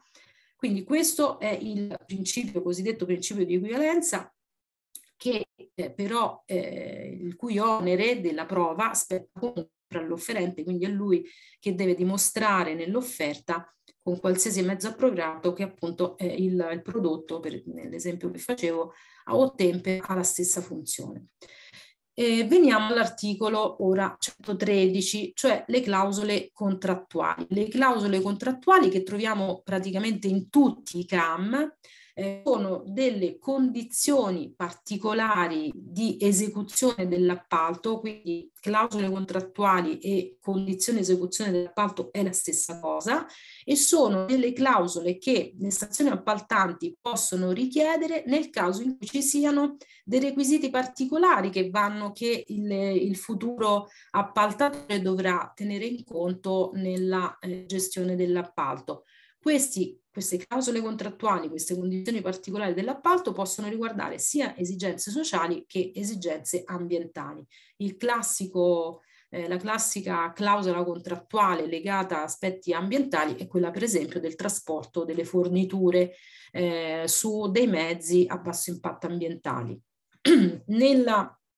quando ci sono delle clausole contrattuali e delle condizioni particolari che devono essere rispettate nella fase e, e ricordiamo che le clausole contrattuali sono obbligatorie eh, per gli operatori economici, quindi sono obbligatorie la parte dei CAM che riguardano le clausole contrattuali devono sempre essere incluse nei documenti di gara. Eh, in questo caso, quindi, quando ci sono delle clausole contrattuali, gli operatori economici in fase di gara devono eh, dichiarare che accetteranno i requisiti eh, particolari, che accetteranno le clausole contrattuali. Quindi vanno fatte firmare già in sede di gara queste, l'impegno a, eh, ad accettare le, le, clausole, ehm, le clausole contrattuali.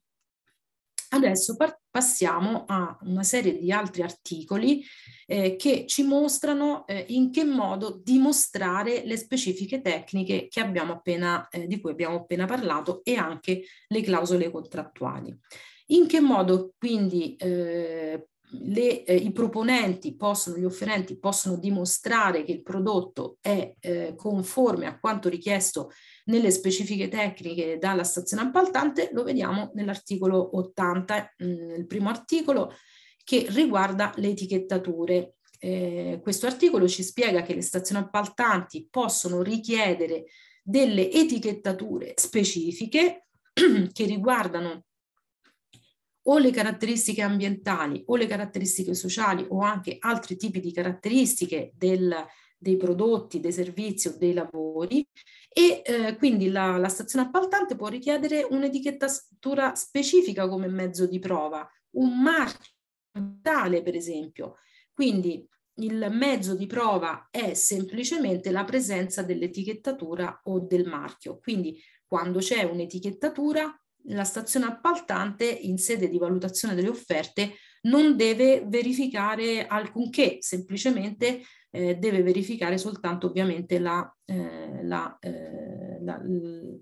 la legittimità dell'etichetta e anche la data di, di scadenza dell'etichettatura o del marchio e così via. Queste etichettature o marchi ambientali naturalmente devono avere delle caratteristiche ben precise, cioè devono essere eh, delle, i requisiti che sono indicati nell'etichettatura devono essere idonei, connessi all'oggetto, quindi ci deve essere un'immediatezza del requisito ambientale, in, nel caso nostro con il prodotto stesso, ovviamente sempre tenendo conto di tutto l'intero ciclo di vita del prodotto, quindi questi requisiti devono riguardare, possono riguardare un qualunque, una qualunque fase del ciclo di vita, devono essere basati questi requisiti su criteri oggettivi, verificabili e non discriminatori per, vari, per le varie imprese, per i vari produttori, devono essere stabiliti poi con procedimento aperto e trasparente, quindi deve esserci una procedura che prevede il, la condivisione di, dei requisiti con enti pubblici, consumatori, parti sociali, produttori e così via. Quindi devono esserci delle, eh, dei criteri, dei requisiti proprio di trasparenza della de, della de, nella definizione dei requisiti ambientali e anche sociali, devono essere accessibili a tutte le parti interessate, quindi le, tutti i produttori possono ottenere l'etichettatura, naturalmente seguendo una procedura ben precisa, e poi l'ultimo requisito che devono avere le etichettature è che devono essere stabilite da enti terzi, quindi non, eh, non devono esserci eh, i produttori esercitare un'influenza determinata eh, sulla definizione dei requisiti del, dei prodotti. Quindi le etichettature come mezzo di prova, per cui se nella nostra procedura di gara per l'acquisto di un prodotto stabiliamo che il prodotto eh, debba essere, debba avere come mezzo di prova un'etichettatura, possiamo andare a appunto verificare semplicemente la eh, data di scadenza dell'etichettatura stessa. Oh, in alcuni casi, se le stazioni appaltanti eh, non vogliono fare riferimento a tutti i requisiti che sono contenuti nelle, nell'etichettatura, perché le etichettature, i marchi ambientali naturalmente contengono al loro interno una serie di requisiti ambientali. Eh, in questo caso eh, le stazioni appaltanti nei documenti di gara e, di, e progettuali possono indicare quali sono i requisiti eh, dell'etichettatura di cui i proponenti devono eh, tenere conto. Eh, quindi soltanto per quei requisiti eh, diciamo, viene richiesta l'etichettatura come mezzo di prova. Ho inoltre naturalmente di etichettature ce ne sono molte sul mercato, le etichettature e marchi ambientali di solito sono espressione di, ehm, di, associazioni, di enti comunque privati anche, quindi eh, le stazioni appaltanti che esigono una specifica etichettatura devono però sempre accettare anche le etichettature equivalenti, cioè quelle etichettature che al loro interno contengono dei requisiti equivalenti all'etichettatura che la stazione appaltante ha indicato in sede di gara. Quindi anche qua vige il principio di equivalenza. In questi casi naturalmente c'è un po' di lavoro in più per le stazioni appaltanti perché devono andare a verificare che, che i requisiti siano effettivamente equivalenti tra un'etichettatura e l'altra. C'è un'altra condizione eh, che, mh, su, che dobbiamo tenere in conto, e cioè quando un operatore economico dimostra di non avere la possibilità di, di ottenere l'etichettatura che la stazione appaltante ha indicato in sede di gara, in questo caso eh, l'operatore economico può presentare altri mezzi di prova, tra cui anche una documentazione tecnica del fabbricante che serva appunto a dimostrare che il prodotto, il servizio o i lavori eh, sono conformi ai requisiti contenuti nell'etichettatura o nel marchio ambientale che la stazione appaltante ha scelto come mezzo di prova. Questo è un caso particolare, quindi l'operatore economico devo, deve dimostrare che non è riuscito ad ottenere in tempo l'etichettatura o il marchio ambientale, ma deve dimostrare che il suo prodotto è conforme attraverso una documentazione tecnica. Questi sono degli esempi di etichettature e di marchi ambientali che trovate eh, nei CAM del Ministero dell'Ambiente e per quanto riguarda le etichettature, in particolare le etichettature ecologiche eh, che sono citate nei diversi CAM, dobbiamo sapere che sono di tre tipi. Quindi trovate nei CAM molto spesso etichettature di, eh, di questi tre, eh, di questi tre mh, tipi che fanno riferimento a delle norme ISO diverse. Ci sono cioè etichettature cosiddette di tipo primo che fanno riferimento alla norma ISO 14024, sono delle etichette basate sempre su un, su un, sistema multicriteria, cioè contengono più requisiti ambientali che vanno a considerare l'intero ciclo di vita del prodotto, del servizio e così via. Poi ci sono le etichettature di tipo 2, di tipo secondo, che sono le autodichiarazioni del produttore,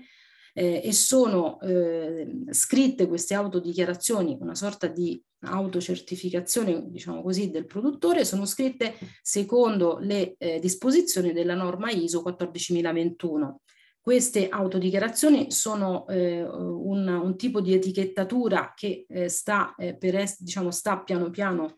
eh, sta per essere esclusa dai CAM perché appunto si tratta sostanzialmente di un'autodichiarazione, quindi non ha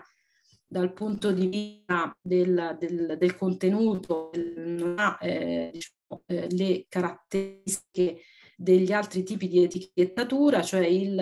eh, la stazione appaltante è costretta nel caso dell'autodichiarazione a fare tutta una serie di verifiche eh, aggiuntive e quindi diciamo l'etichettatura che serve anche per semplificare il processo di verifica della conformità dei prodotti, dei servizi e dei lavori, un po' con questo tipo di autodichiarazione per un po' il, il suo, eh, diciamo, non, non, è utile a, a, semplificare, anzi si aggiungono i tempi di, di verifica della, della, conformità. Quindi le autodichiarazioni negli ultimi CAM, c'è scritto eh, nelle diverse specifiche tecniche, possono essere utilizzate dai produttori soltanto fino alla fine eh, fino alla data di, eh, di, scadenza, poi non possono essere rinnovate, quindi il produttore eh, necessariamente eh, certificare il proprio prodotto con un'altra etichettatura o con etichettatura di tipo primo con l'ultimo tipo di etichettatura che è un'etichettatura di tipo terzo eh, le cui viene redatta eh, seguendo le disposizioni della ISO 14025 anche questo tipo di etichettatura è una dichiarazione ambientale di prodotto, DAP, oppure in inglese EPD, Environmental Product Declaration. Questa è un'etichettatura che come quelle di tipo primo si basano sull'analisi del ciclo di vita, ma va a eh, dare tutta una serie di informazioni di tipo quantitativo su tutti i processi eh, di tutto il ciclo di vita del prodotto, del servizio del lavoro, eh, mentre invece le etichette di tipo primo sono etichette eh, che eh, sono cosiddette eh, appunto multicriteria, cioè stabiliscono dei requisiti specifici che il produttore deve dimostrare attraverso una serie di procedure di, eh, di verifiche. Quindi quella di tipo primo riguarda solo alcuni requisiti del prodotto, mentre quella di tipo 3 riguarda tutti i processi eh, tu, di, di, tutto il ciclo di vita del prodotto, quindi è diciamo molto più completa dal punto di vista eh, delle eh, informazioni ambientali, quella di tipo 3, eh, ma la, la, differenza tra le due, entrambe sono eh, convalidate da un organismo di valutazione della conformità, quelle di tipo primo e quello di tipo terzo, quindi eh, con, tipo, con, questo tipo di etichettatura eh, diciamo sostanzialmente la stazione appaltante anche qua non deve fare alcunché, soltanto che etichettature di tipo prima, che, primo che vengono, eh, in, vengono eh, diciamo, chiamate anche etichettature a soglia, adesso vedremo perché, sono delle etichettature che stabiliscono dei requisiti ambientali di riferimento, quindi se il prodotto è conforme alle soglie stabilite dall'etichettatura viene eh, appunto eh, viene certificato, altrimenti non, eh, non, può essere certificato. Quindi sono delle etichettature che eh, stabiliscono dei requisiti ambientali molto molto impegnativi per, eh, per il produttore e la classica etichettatura di tipo 1 è l'ecolabel, quindi contiene dei requisiti molto molto eh, impegnativi da aggiungere, per cui con etichettature di, primo, di tipo primo siamo sicuri che il prodotto, il servizio, il lavoro eh, hanno delle caratteristiche ambientali, di sostenibilità ambientali molto molto elevate. Le etichettature di tipo 3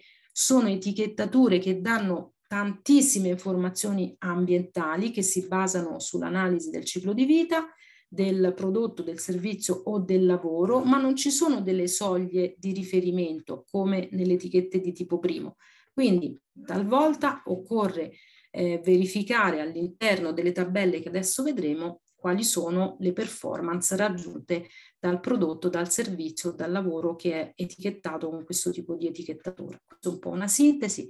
dei tre tipi di etichettatura, sono cose che già ho un po' detto, cioè le etichettature di tipo primo sono delle etichettature multicriteri, multicriteriali, servono per selezionare i prodotti migliori sul mercato, quindi quelle che ottengono l'etichettatura sono sicuramente eh, prodotti eh, che hanno una, una, sostenibilità ambientale molto alta, sono, hanno una verifica indipendente, quindi c'è una, eh, organismo, un organismo di valutazione della conformità che li verifica. Quelle di tipo 2 sono le autodichiarazioni, non c'è una verifica indipendente, quindi non c'è una certificazione da parte di un organismo di valutazione della conformità, mentre invece appunto le, quelle di tipo 3 come le EPD sono multicriteri, descrivono, forniscono informazioni complete sul ciclo di vita, servono per comparare eh, due prodotti analoghi che hanno la stessa, appunto, lo stesso tipo di etichettatura e anche questi sono comunque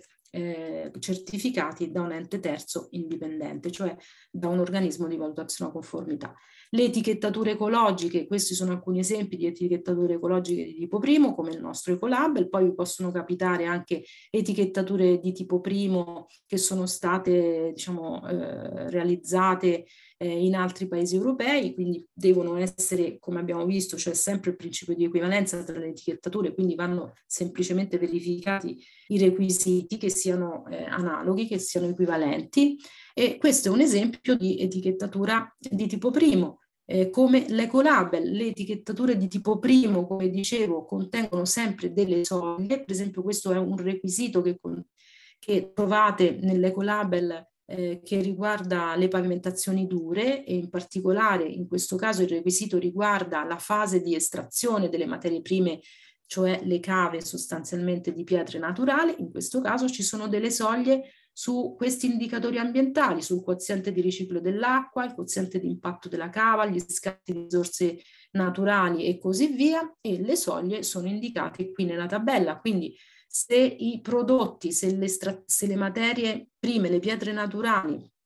non rispondono a questi requisiti, il prodotto non può essere etichettato, la pavimentazione in questo caso non può essere etichettato con questo eh, con eh, l'ecolabel. Quindi sono etichettature a soglia queste eh, di tipo primo. Eh, per cui siamo sicuri che il prodotto, mh, queste soglie sono molto difficili diciamo così da raggiungere, quindi siamo sicuri che il prodotto è, uh, ha un'altissima sostenibilità ambientale. Le etichettature ecologiche invece di tipo 2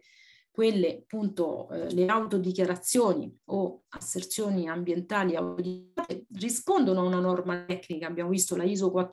1421, che va a indicare come devono essere scritte queste asserzioni ambientali autodichiarate dal produttore, quali termini devono usare, quale metodologia di verifica e di valutazione devono essere, devono essere utilizzate per l'etichettatura, che, quali, quali sono i termini che si possono utilizzare e i termini che non si possono utilizzare. Eh, la responsabilità naturalmente rimane al produttore. Se trovate etichettature di tipo 2, ISO 14021, che sono certificate da un organismo di valutazione della conformità, non ha, non ha senso perché non, le etichettature di tipo secondo non sono sotto accreditamento di Accredia, quindi non c'è nessun organismo eh, di eh, organismo di valutazione della conformità che è autorizzato da Accredia a certificare questo tipo di etichettature. Quindi attenzione, non fatevi fuorviare dalla, eh, magari se c'è un, appunto, un organismo che ha certificato l'autodichiarazione, perché non è, non è possibile, non è autorizzato a farlo eh, da, a, da Accredia. Ho queste etichettature di tipo 2, quindi possono usare soltanto alcuni termini, sono indicate nella norma ISO quali sono, quindi per alcune cose possono andare bene queste etichettature qua, eh, ma eh, appunto come dicevo il MASE sta cercando di, eh, di eliminarle piano piano perché eh, come dicevo hanno bisogno di una verifica eh, molto dettagliata da parte delle stazioni appaltanti. Anche qua eh, sempre la ISO 14001 ci dice come sono anche i, le, i, pittogrammi che si devono utilizzare sul prodotto, per esempio per, il, per, la riciclabilità del prodotto oppure per il contenuto di riciclato. Quindi le, eh, la ISO dà tutta una serie di prescrizioni per questo tipo di, eh, di etichettature. Poi arriviamo invece alle etichettature ecologico di tipo terzo che abbiamo detto danno tutte le informazioni su, ambientali su tutti i processi del ciclo di vita, sono stabilite le, le modalità eh, per eh, diciamo, arrivare all'etichettatura ecologica di tipo terzo, stabilita dalla ISO 14025 che stabilisce che per ottenere questa etichettatura il produttore debba fare, far fare una analisi del ciclo di vita del prodotto, del servizio, del lavoro, secondo le norme della serie ISO 14040, che è la serie che appunto si occupa delle procedure di life cycle assessment, di analisi del ciclo di vita. Anche in questo caso la ISO ci dice che, mh, mm, che quali sono le caratteristiche diciamo, di questa etichettatura, cioè ci dà eh, questo, l'analisi del ciclo di vita ci dà tutte le informazioni quantificate, eh, quindi sono informazioni sulle caratteristiche del prodotto, su tutti i processi della, da partire dall'estrazione della materia prima alla fase di produzione, alla fase di uso del prodotto, del servizio e così via, fino alla fase invece di fine vita e sono tutte informazioni quantificate e basate appunto sull'analisi del ciclo di vita. È uno strumento non valutativo come le etichette ecolabel, quindi come le etichette di tipo 1, ma sono, mh, mm, ci servono per eh, per esempio per eh, confrontare due prodotti analoghi. Quindi se ho due prodotti, eh, per esempio devo acquistare degli autobus eh, e ho due EPD, posso andare a vedere nell'analisi del ciclo di vita sintetizzata all'interno di tabelle codificate, posso andare a vedere se le emissioni di CO2 di tutto il ciclo di vita, compreso quello quindi della fase di uso, dell'autobus numero uno, dell'offerente numero uno e dell'offerente numero due appunto se le emissioni di CO2 sono maggiori o inferiori dei quale, qual è quelle inferiori tra i due e così anche altri aspetti ambientali. Quindi lo utilizzo, la utilizzo questa etichettatura per confrontare prodotti eh, analoghi in fase di eh, valutazione. Queste sono delle eh, etichettature eh, di tipo 3, degli EPD, diciamo, sia quella internazionale che è questo che vedete qui sulla destra, la IPD, da qualche anno c'è anche una IPD Italy, quindi una, eh, un marchio italiano registrato che va a verificare attraverso sempre, sempre diciamo, la procedura è sempre la stessa, ma eh, trovate nel sito degli IPD soprattutto prodotti ovviamente italiani, mentre invece nel sito quello dell'EPD International, che è questo, www.environdec.com, trovate invece eh, le EPD di tutto il mondo e quindi anche quelle, eh, quelle italiane. Poi qua vedete anche delle EPD eh, di altri paesi che mh, difficilmente insomma vi potranno capitare, però insomma nel caso vi, vi capitino questo, questo tipo di etichettatura eh, sappiate che esistono e quindi anche queste, anche per queste vale sempre il eh, principio di equivalenza. Questo è quello che trovate all'interno delle EPD, delle dichiarazioni ambientali di prodotto, cioè trovate tutti gli impatti potenziali ambientali di tutto il ciclo di vita. Queste diverse colonne sono le diverse fasi del ciclo di vita, la fase di estrazione della materia prima, la fase di produzione, in questo caso la fase di uso, e trovate tutti i valori, i parametri ambientali, il global warming potential, cioè le emissioni di CO2 equivalenti in chilogrammi di, abbiamo visto che le PD contengono dati di tipo quantitativo, quindi chilogrammi di CO2 equivalenti delle varie fasi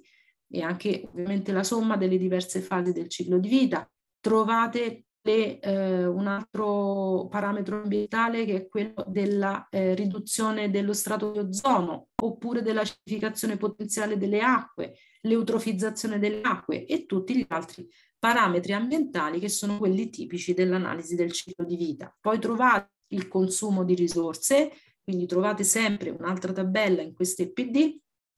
per questo sono eh, diverse, i diversi prodotti sono confrontabili perché le tabelle sono sempre queste, i valori e i parametri sono sempre gli stessi e quindi sono confrontabili i, i parametri dei vari, eh, dei vari prodotti analoghi. In questo caso l'uso di risorse fa riferimento ai consumi di energia primaria rinnovabile, ai consumi di energia primaria non rinnovabile, all'uso di materiali riciclati, quindi di materia prima seconda, all'uso di combustibili eh, derivanti da, eh, da fonti rinnovabili, da fonti non rinnovabili e poi anche il consumo di acqua. Quindi questo è il consumo di risorse sempre quantificato nelle fasi di estrazione della materia prima, di produzione e di, e di uso in questo caso, poi ci sono anche il fine vita, poi abbiamo la produzione di rifiuti, quindi questa è la terza tabella che trovate nelle EPD con i chilogrammi nei vari, sempre nelle varie fasi, chilogrammi di, eh, di rifiuti pericolosi, i chilogrammi di rifiuti non pericolosi e anche i eh, rifiuti radioattivi in qualche caso. I flussi invece in uscita, l'ultima tabella che trovate nelle EPD, riguardano il, la composizione, diciamo così, dei eh, materiali in uscita e che quindi possono eventualmente essere riutilizzati, per esempio se ci sono dei sottoprodotti, dei componenti per il riuso, dei materiali che possono essere riciclati, anche l'energia, per esempio se un impianto produttivo viene alimentato da fotovoltaici c'è energia eh, aggiuntiva che non viene consumata per la produzione del prodotto, eh, quella, eh, quell'energia deve essere inclusa in questa ultima eh, tabella. Quindi questi sono tutti i dati che troviamo nelle EPD e che quindi ci aiutano a confrontare le performance ambientali dei diversi prodotti che dobbiamo selezionare. L'articolo 105 invece è un articolo che contiene diversi elementi sui, eh, sempre, siamo sempre nell'ambito della, eh, delle modalità di eh, dimostrazione dei requisiti ambientali dei prodotti, dei servizi e dei lavori, quindi della, eh, delle mh, prove della dimostrazione delle specifiche tecniche e delle clausole contrattuali. L'articolo 105 intanto ci dice che oltre alle etichettature ecologiche che abbiamo visto adesso, che abbiamo visto poco fa, ci sono altre due modalità per gli operatori economici di dimostrare che il prodotto, il servizio e il lavoro è conforme alle specifiche tecniche indicate dalla stazione appaltante. Sono due, sono la relazione o rapporto di prova, cioè le prove di laboratorio, oppure un certificato rilasciato da organismi di valutazione della conformità. Gli organismi di valutazione della conformità, attenzione perché sono solo quelli autorizzati da Accredia a rilasciare questi certificati, cioè sono organismi che eh, diciamo, lavorano sotto accreditamento a norma del regolamento 765, regolamento europeo del 765 del 2008. Quindi questo, eh, queste due modalità, adesso forse abbiamo qualche esempio, no? eh, oltre ai, eh, ai rapporti, alle relazioni di prova dei laboratori e ai certificati di conformità che rilasciano gli organismi di valutazione eh, autorizzati da Credi a farlo, poi eh, l'articolo 105 ammette anche un altro mezzo di prova, che è la documentazione tecnica del fabbricante, come abbiamo visto nel caso eh, delle etichettature. Quindi anche in questo caso, se la stazione richiede un certificato o richiede una relazione di prova di, del laboratorio, è, il, è l'operatore economico che deve dimostrare di non, aver, eh, di non essere riuscito, di non aver fatto in tempo ad ottenere i certificati o le relazioni di prova del laboratorio e, e quindi può allegare all'offerta una documentazione tecnica del fabbricante che però comprovi ovviamente la conformità alle specifiche tecniche del suo prodotto. Quindi eh, ci sono ovviamente la documentazione tecnica deve essere adeguata, cioè deve dimostrare proprio che il eh, prodotto, il servizio, il lavoro è conforme alla specifica tecnica o alla clausola contrattuale o anche ai criteri premianti, cioè ai criteri di aggiudicazione quindi come vediamo qua per riepilogare i mezzi di prova abbiamo le etichettature come mezzo di prova, eh, oppure la documentazione tecnica del fabbricante se l'operatore non è riuscito ad ottenere l'etichettatura, le certificazioni di valutazione della conformità rilasciate dagli organismi di valutazione della conformità, le relazioni di prova o rapporti di prova, anche questi rilasciati dai laboratori accreditati sempre da Credia, oppure altri di mezzi di prova appropriati come appunto la documentazione tecnica del fabbricante. Questo è un esempio di certificato di valutazione della conformità, quindi un certificato rilasciato da un organismo, e lo vediamo qua, il TUV in questo caso, un organismo di valutazione accreditato, la norma eh, tecnica rispetto alla quale l'organismo ha rilasciato il certificato, Accredia, quindi il marchio Accredia che eh, con i numeri di registrazione dell'organismo di valutazione della conformità che ci assicura che quell'organismo ha rilasciato questo certificato essendo autorizzato a farlo da Accredia e poi abbiamo anche ovviamente qui la data di scadenza, la data di emissione, la data di scadenza dei certificati che appunto come dicevamo prima per le etichettature scadono, quindi per i certificati e per le etichettature dobbiamo andare a verificare se è ancora valido il, eh, il documento. Questo invece per quanto riguarda i rapporti di prova di laboratorio dobbiamo sapere che i rapporti di prova devono essere scritti dal laboratorio di prova accreditato, accreditato in un modo ben specifico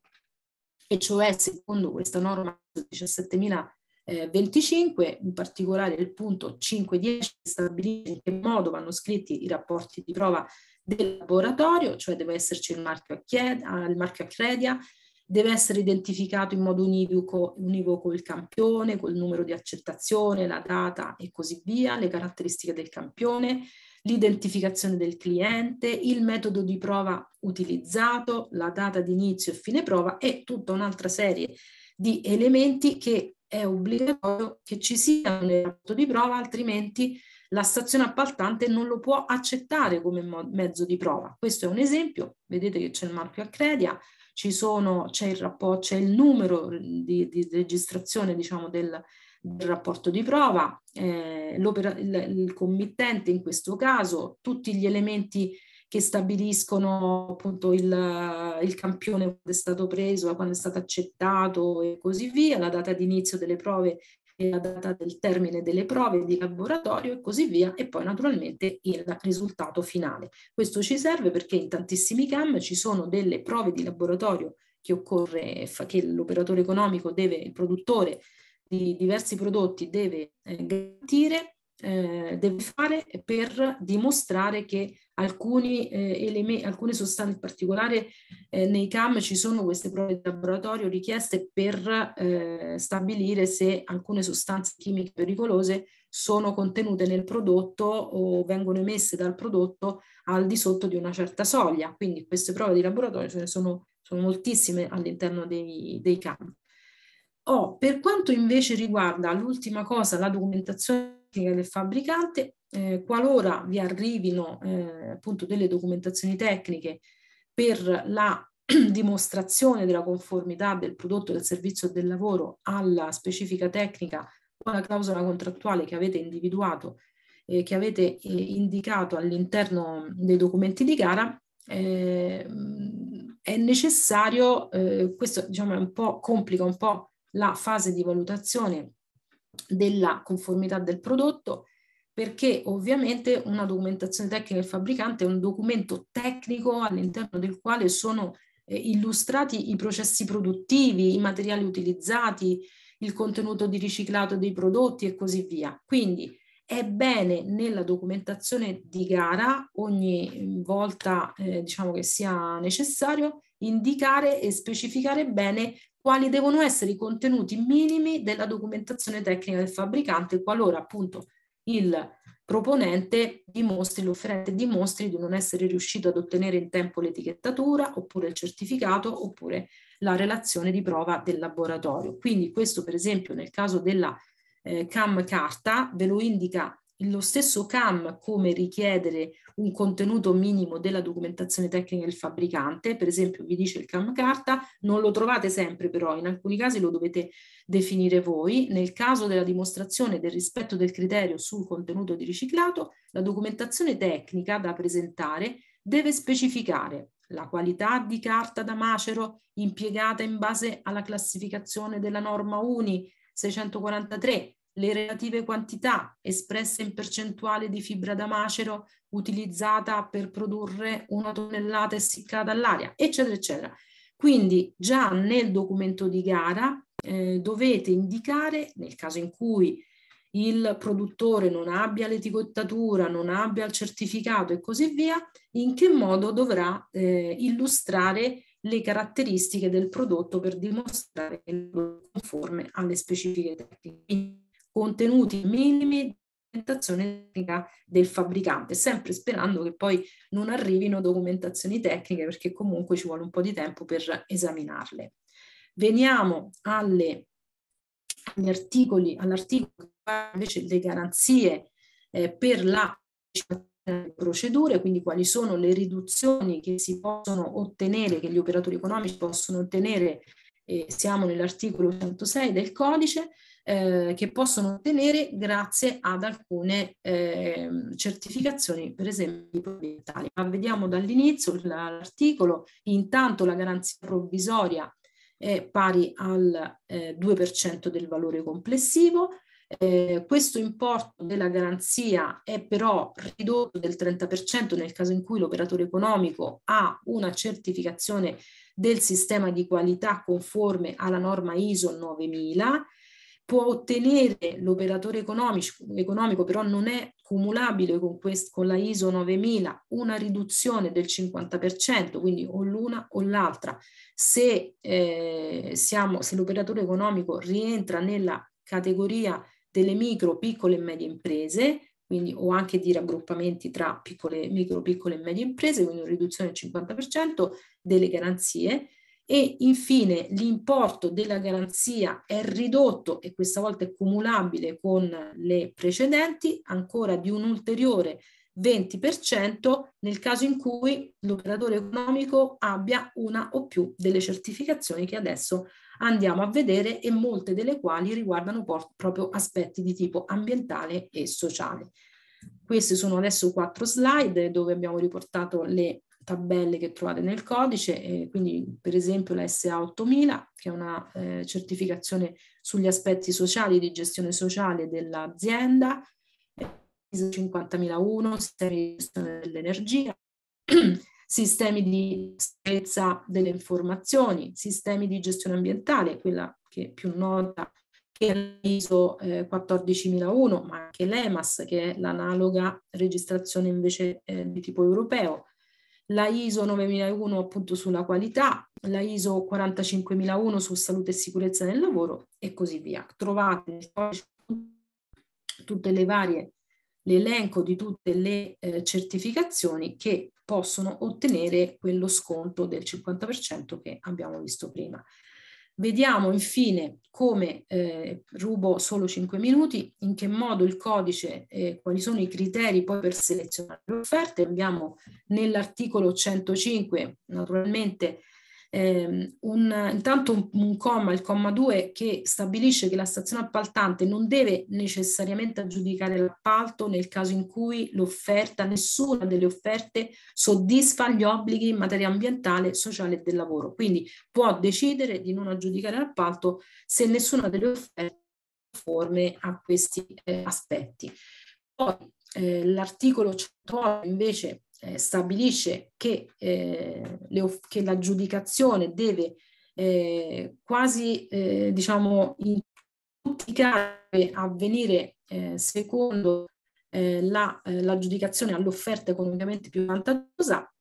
questo nel primo comma dell'articolo 108, i criteri che si devono utilizzare sono per l'offerta economicamente più vantaggiosa o il miglior rapporto qualità-prezzo, oppure anche soltanto sull'aspetto del prezzo e del costo, ma in questo caso quindi non considerando gli aspetti tecnici e le prestazioni del prodotto, del servizio, del lavoro, ma soltanto sull'ele- sull'elemento prezzo o costo, ma in questo caso però non soltanto del prezzo in sé, ma del costo-efficacia, della comparazione costo-efficacia come per esempio il costo del ciclo di vita che poi andrà a definire nell'articolo successivo. Quindi l'offerta economicamente più vantaggiosa si può basare sul miglior rapporto qualità-prezzo, quindi qualità, aspetti funzionali, eh, aspetti tecnici, aspetti ambientali e così via, e il, e il rapporto anche con il prezzo, oppure soltanto sul prezzo, ma qualora ri, ri, ri, ci riferiamo soltanto al prezzo, dobbiamo sempre tenere conto di, del costo lungo tutto il ciclo di vita del prodotto o del servizio che andiamo ad appaltare. Come mh, forse già sapete, il minor prezzo invece per quanto riguarda i servizi e le forniture eh, utilizzato soltanto per servizi e forniture che abbiano caratteristiche standardizzate quindi soltanto in alcuni casi possono essere utilizzati e, e con eccezione peraltro per i servizi che sono di manodopera. E poi qui nel comma 2 vediamo anche quali sono eh, gli appalti che possono essere aggiudicati esclusivamente con l'offerta economicamente più vantaggiosa in particolare con il criterio del miglior rapporto qualità-prezzo. Sono i servizi sociali di ristorazione ospedaliera e assistenziale scolastica, quindi qui abbiamo il nostro CAM ristorazione e così via, i contratti per l'affidamento di servizi di ingegneria e architettura di importo pari o superiore a 140.000 euro, per quanto riguarda servizi e forniture di eh, notevole contenuto tecnologico o con carattere innovativo eh, devono essere eh, appaltati esclusivamente con il criterio del rapporto qualità-prezzo sopra ai 140.000 euro, mentre invece la stessa cosa, cioè i lavori con notevole contenuto tecnologico o con carattere innovativo, non c'è una soglia di, eh, di riferimento, quindi sempre con il miglior rapporto qualità-prezzo nel caso dei lavori di notevole contenuto tecnologico. Poi vediamo ancora gli affidamenti nel caso di dialogo competitivo, di partenariato per l'innovazione e nell'appalto integrato, anche in questo caso dobbiamo sempre utilizzare l'offerta economicamente più vantaggiosa e il miglior rapporto qualità-prezzo. Per quanto riguarda i criteri di aggiudicazione nel caso del appunto miglior rapporto qualità-prezzo, sono dei criteri che devono essere oggettivi, eh, possono essere sia di tipo quantitativo che di tipo qualitativo, riguardare aspetti ambientali o anche aspetti sociali e soprattutto devono essere strettamente connessi all'oggetto dell'appalto pur tenendo conto,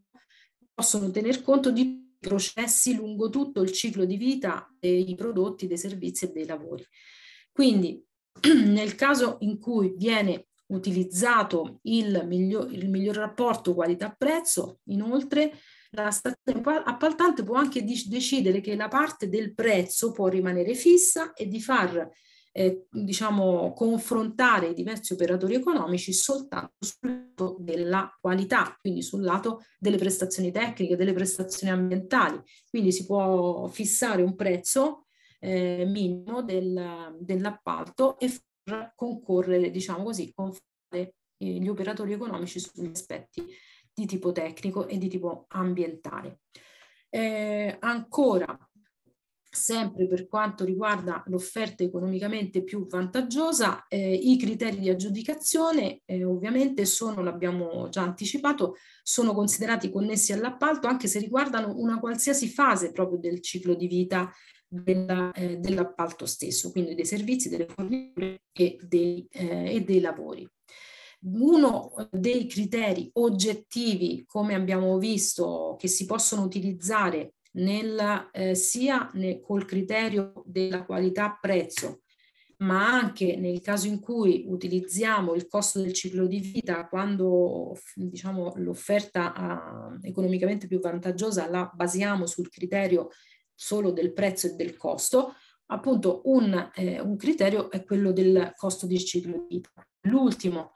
eh, articolo che andiamo a vedere, il comma 3, ci dice in che modo eh, deve essere definito il costo del ciclo di vita. Eh, i, le stazioni appaltanti devono fornire di gara il metodo che, che, sarà impiegato per confrontare le diverse offerte dal punto di vista dei costi del ciclo di vita e quindi devono chiedere delle informazioni chiare e ben precise agli operatori economici. I dati quindi che devono richiedere sono i costi relativi all'acquisizione del prodotto, per esempio, o del, o del servizio, i costi connessi all'utilizzo, per esempio il consumo di energia e altre risorse nella fase di uso di quel prodotto, i costi necessari per la manutenzione del prodotto lungo la fase di uso, i costi relativi anche al fine vita, quindi i costi di smaltimento, di riciclaggio della, della, del prodotto quando arriva alla eh, conclusione della sua vita utile e infine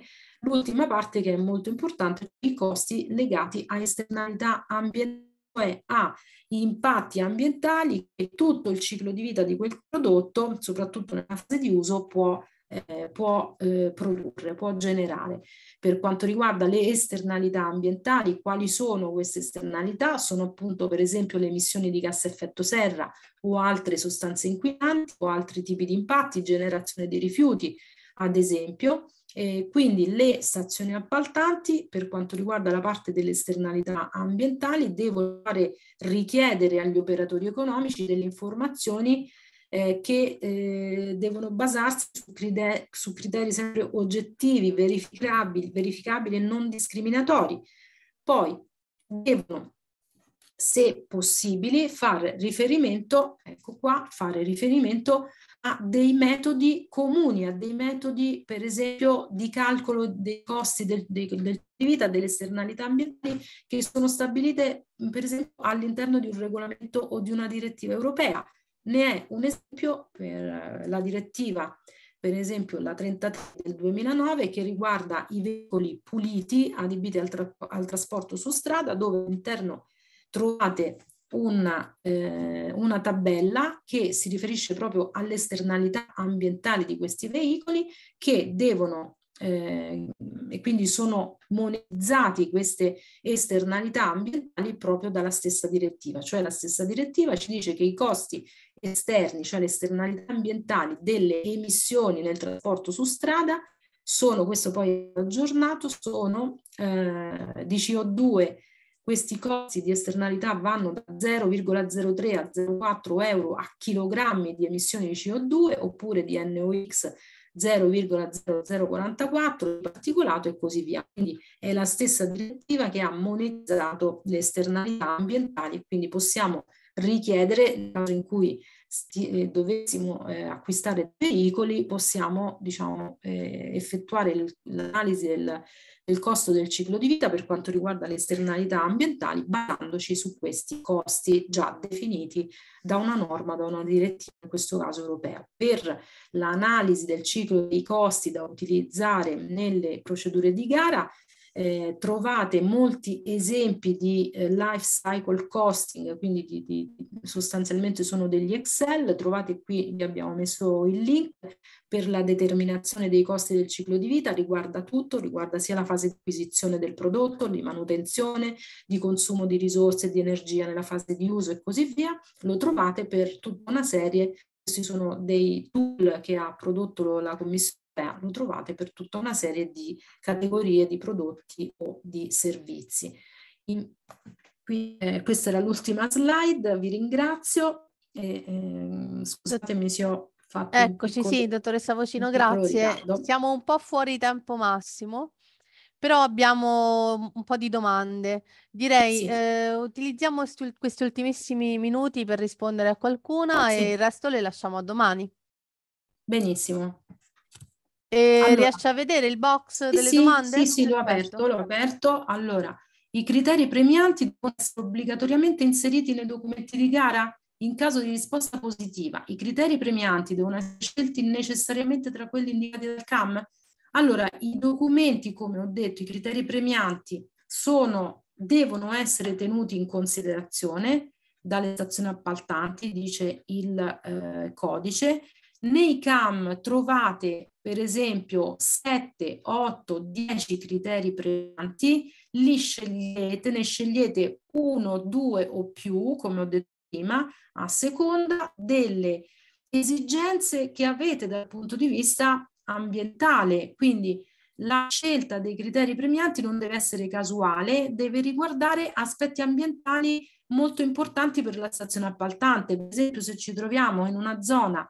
eh, con eh, problemi di, di, di, con problemi idrici, per esempio, allora possono essere scelti, per esempio, criteri premiati, faccio un esempio qualsiasi, mm, che riguardano, per esempio, i consumi idrici dei prodotti. Ecco, quindi mm, il risparmio idrico, riguardano il risparmio idrico, quindi devono essere selezionati, sono obbligatori nel senso che se ne devono scegliere alcuni tra quelli proposti dai criteri eh, ambientali minimi del Ministero dell'Ambiente. E la seconda domanda, no, non devono necessariamente eh, essere soltanto quelli dei CAM, se avete dei criteri premianti ma anche dei criteri obbligatori, l'ho detto prima, perché possono esserci specifiche tecniche e clausole contrattuali in più che potete eh, definire voi, che può definire la stazione appaltante. Quindi anche per i criteri premianti vale la stessa cosa. Sarebbe possibile vedere qualche esempio di caratteristica tecnica inserita in qualche bando, ma più che inserita in qualche bando lo potete semplicemente vedere all'interno dei campi perché tutti i campi contengono specifiche tecniche, cioè caratteristiche tecniche, come le chiama la nostra collega, eh, perché sostanzialmente poi nei bandi di gara si fa riferimento direttamente alle specifiche tecniche del, del CAM stesso. Ricordo che le specifiche tecniche sono invece e le clausole contrattuali sono tutte obbligatorie a differenza dei criteri eh, premianti. Quindi potete facilmente, poi domani vedremo tantissimi esempi di CAM, quindi li vedremo anche domani queste, queste mm, specifiche tecniche. Eh, poi, quali materiali devono avere la certificazione CAM? Allora, sfatiamo un mito, non esiste la certificazione CAM, non esiste. Tutte le, le certificazioni CAM che circolano sono false perché sono rilasciate perché non c'è un, una procedura di accredia che accredita, che autorizza degli organismi di valutazione della conformità a rilasciare una cosiddetta certificazione CAM. Non esiste. Esistono le etichettature ecologiche, i certificati di valutazione della conformità rilasciati da un organismo di valutazione accreditato. Questi certificati riguardano alcune specifiche tecniche in particolare, non riguardano tutto l'intero prodotto, potranno riguardare per esempio il contenuto di riciclato del prodotto, potranno riguardare il contenuto di sostanze chimiche pericolose, ma non l'intero prodotto. Quindi se per un tipo di prodotto, mettiamo per, una, per un arredo, ci sono cinque specifiche tecniche obbligatorie, il certificato rilasciato da organismo di valutazione conformità, devono esserci cinque certificati per quelle caratteristiche. Quando si parla erroneamente di certificazione CAM è come se ci fosse una certificazione onnicomprensiva di tutta di quelle cinque specifiche tecniche indicate dal CAM Ready, per esempio. Ma non esiste, Accredia finora non ha mh, autorizzato nessuno a rilasciare una certificazione di questo tipo, onnicomprensiva di tutti i requisiti. Quindi non fidatevi di, questo, di queste certificazioni che arrivano. Le uniche diciamo così, certificazioni onnicomprensive sono le etichettature ambientali di tipo primo. L'ecolabel è onnicomprensivo, quindi se c'è un'etichettatura di un arredo ecolabel, vuol dire che quell'arredo risponde a tutti i requisiti ambientali indicati nell'ecolabel e quindi in questo caso è come fosse una, certificazione appunto di tutti i requisiti ambientali di tutto il prodotto Chiara, fermami quando mi devo fermare, non so quanto posso andare avanti. Allora, Finiamo alle 11.50, altri tre minuti. Ok. Come si dimostra il rispetto dei CAM? Quale verifica del possesso e della validità di certificazioni specifiche richieste dal CAM? Questo magari sono state fatte quando ancora non, avevo, non ero arrivata a quel punto, però abbiamo detto che il rispetto dei CAM si dimostra con le etichettature dei marchi ambientali, in particolare etichettature di tipo primo e di tipo terzo. Pian piano le etichettature di tipo secondo, cioè le autodichiarazioni del produttore, sono abbandonate dai CAM. Secondo modo sono le relazioni di prova del laboratorio. Terzo modo, le certificazioni di conformità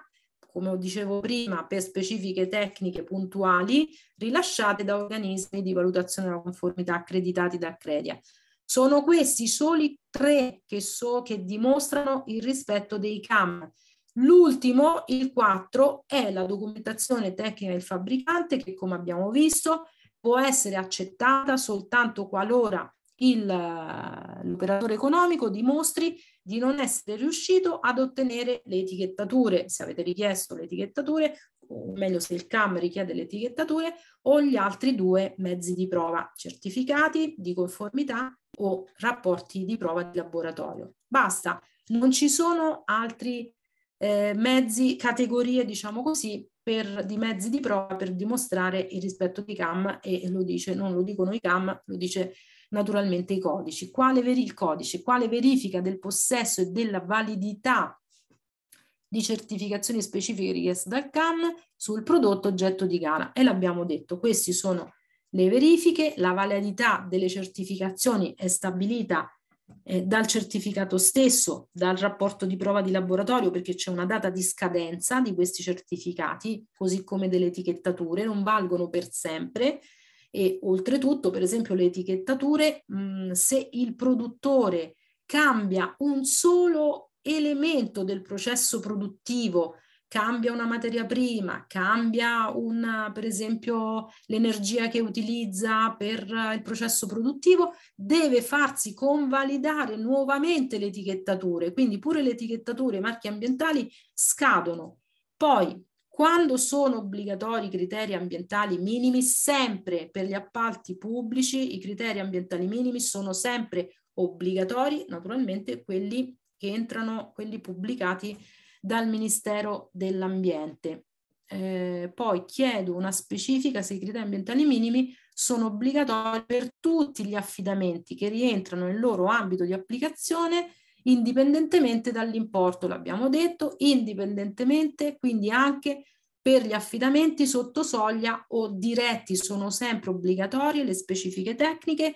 e le clausole contrattuali. Se c'è un affidamento diretto non ci sarà un confronto concorrenziale tra operatori, è un affidamento diretto, quindi i criteri premianti non entrano in gioco in questo caso, ma verranno affidati in modo diretto, ma il prodotto, servizio e lavori devono sempre essere conformi a specifiche tecniche e clausole eh, contrattuali. Perfetto, dottoressa, direi che Mi possiamo fermo. fermarci qui. Lasciamo a domani le ultime, le ultime risposte, tanto okay. avremo modo sicuramente. Benissimo. E io ringrazio tutti voi, ringrazio i docenti tantissimo e vi do appuntamento a domani mattina alla stessa ora. Grazie, buona giornata. Grazie a tutti, a domani. Arrivederci. Arrivederci.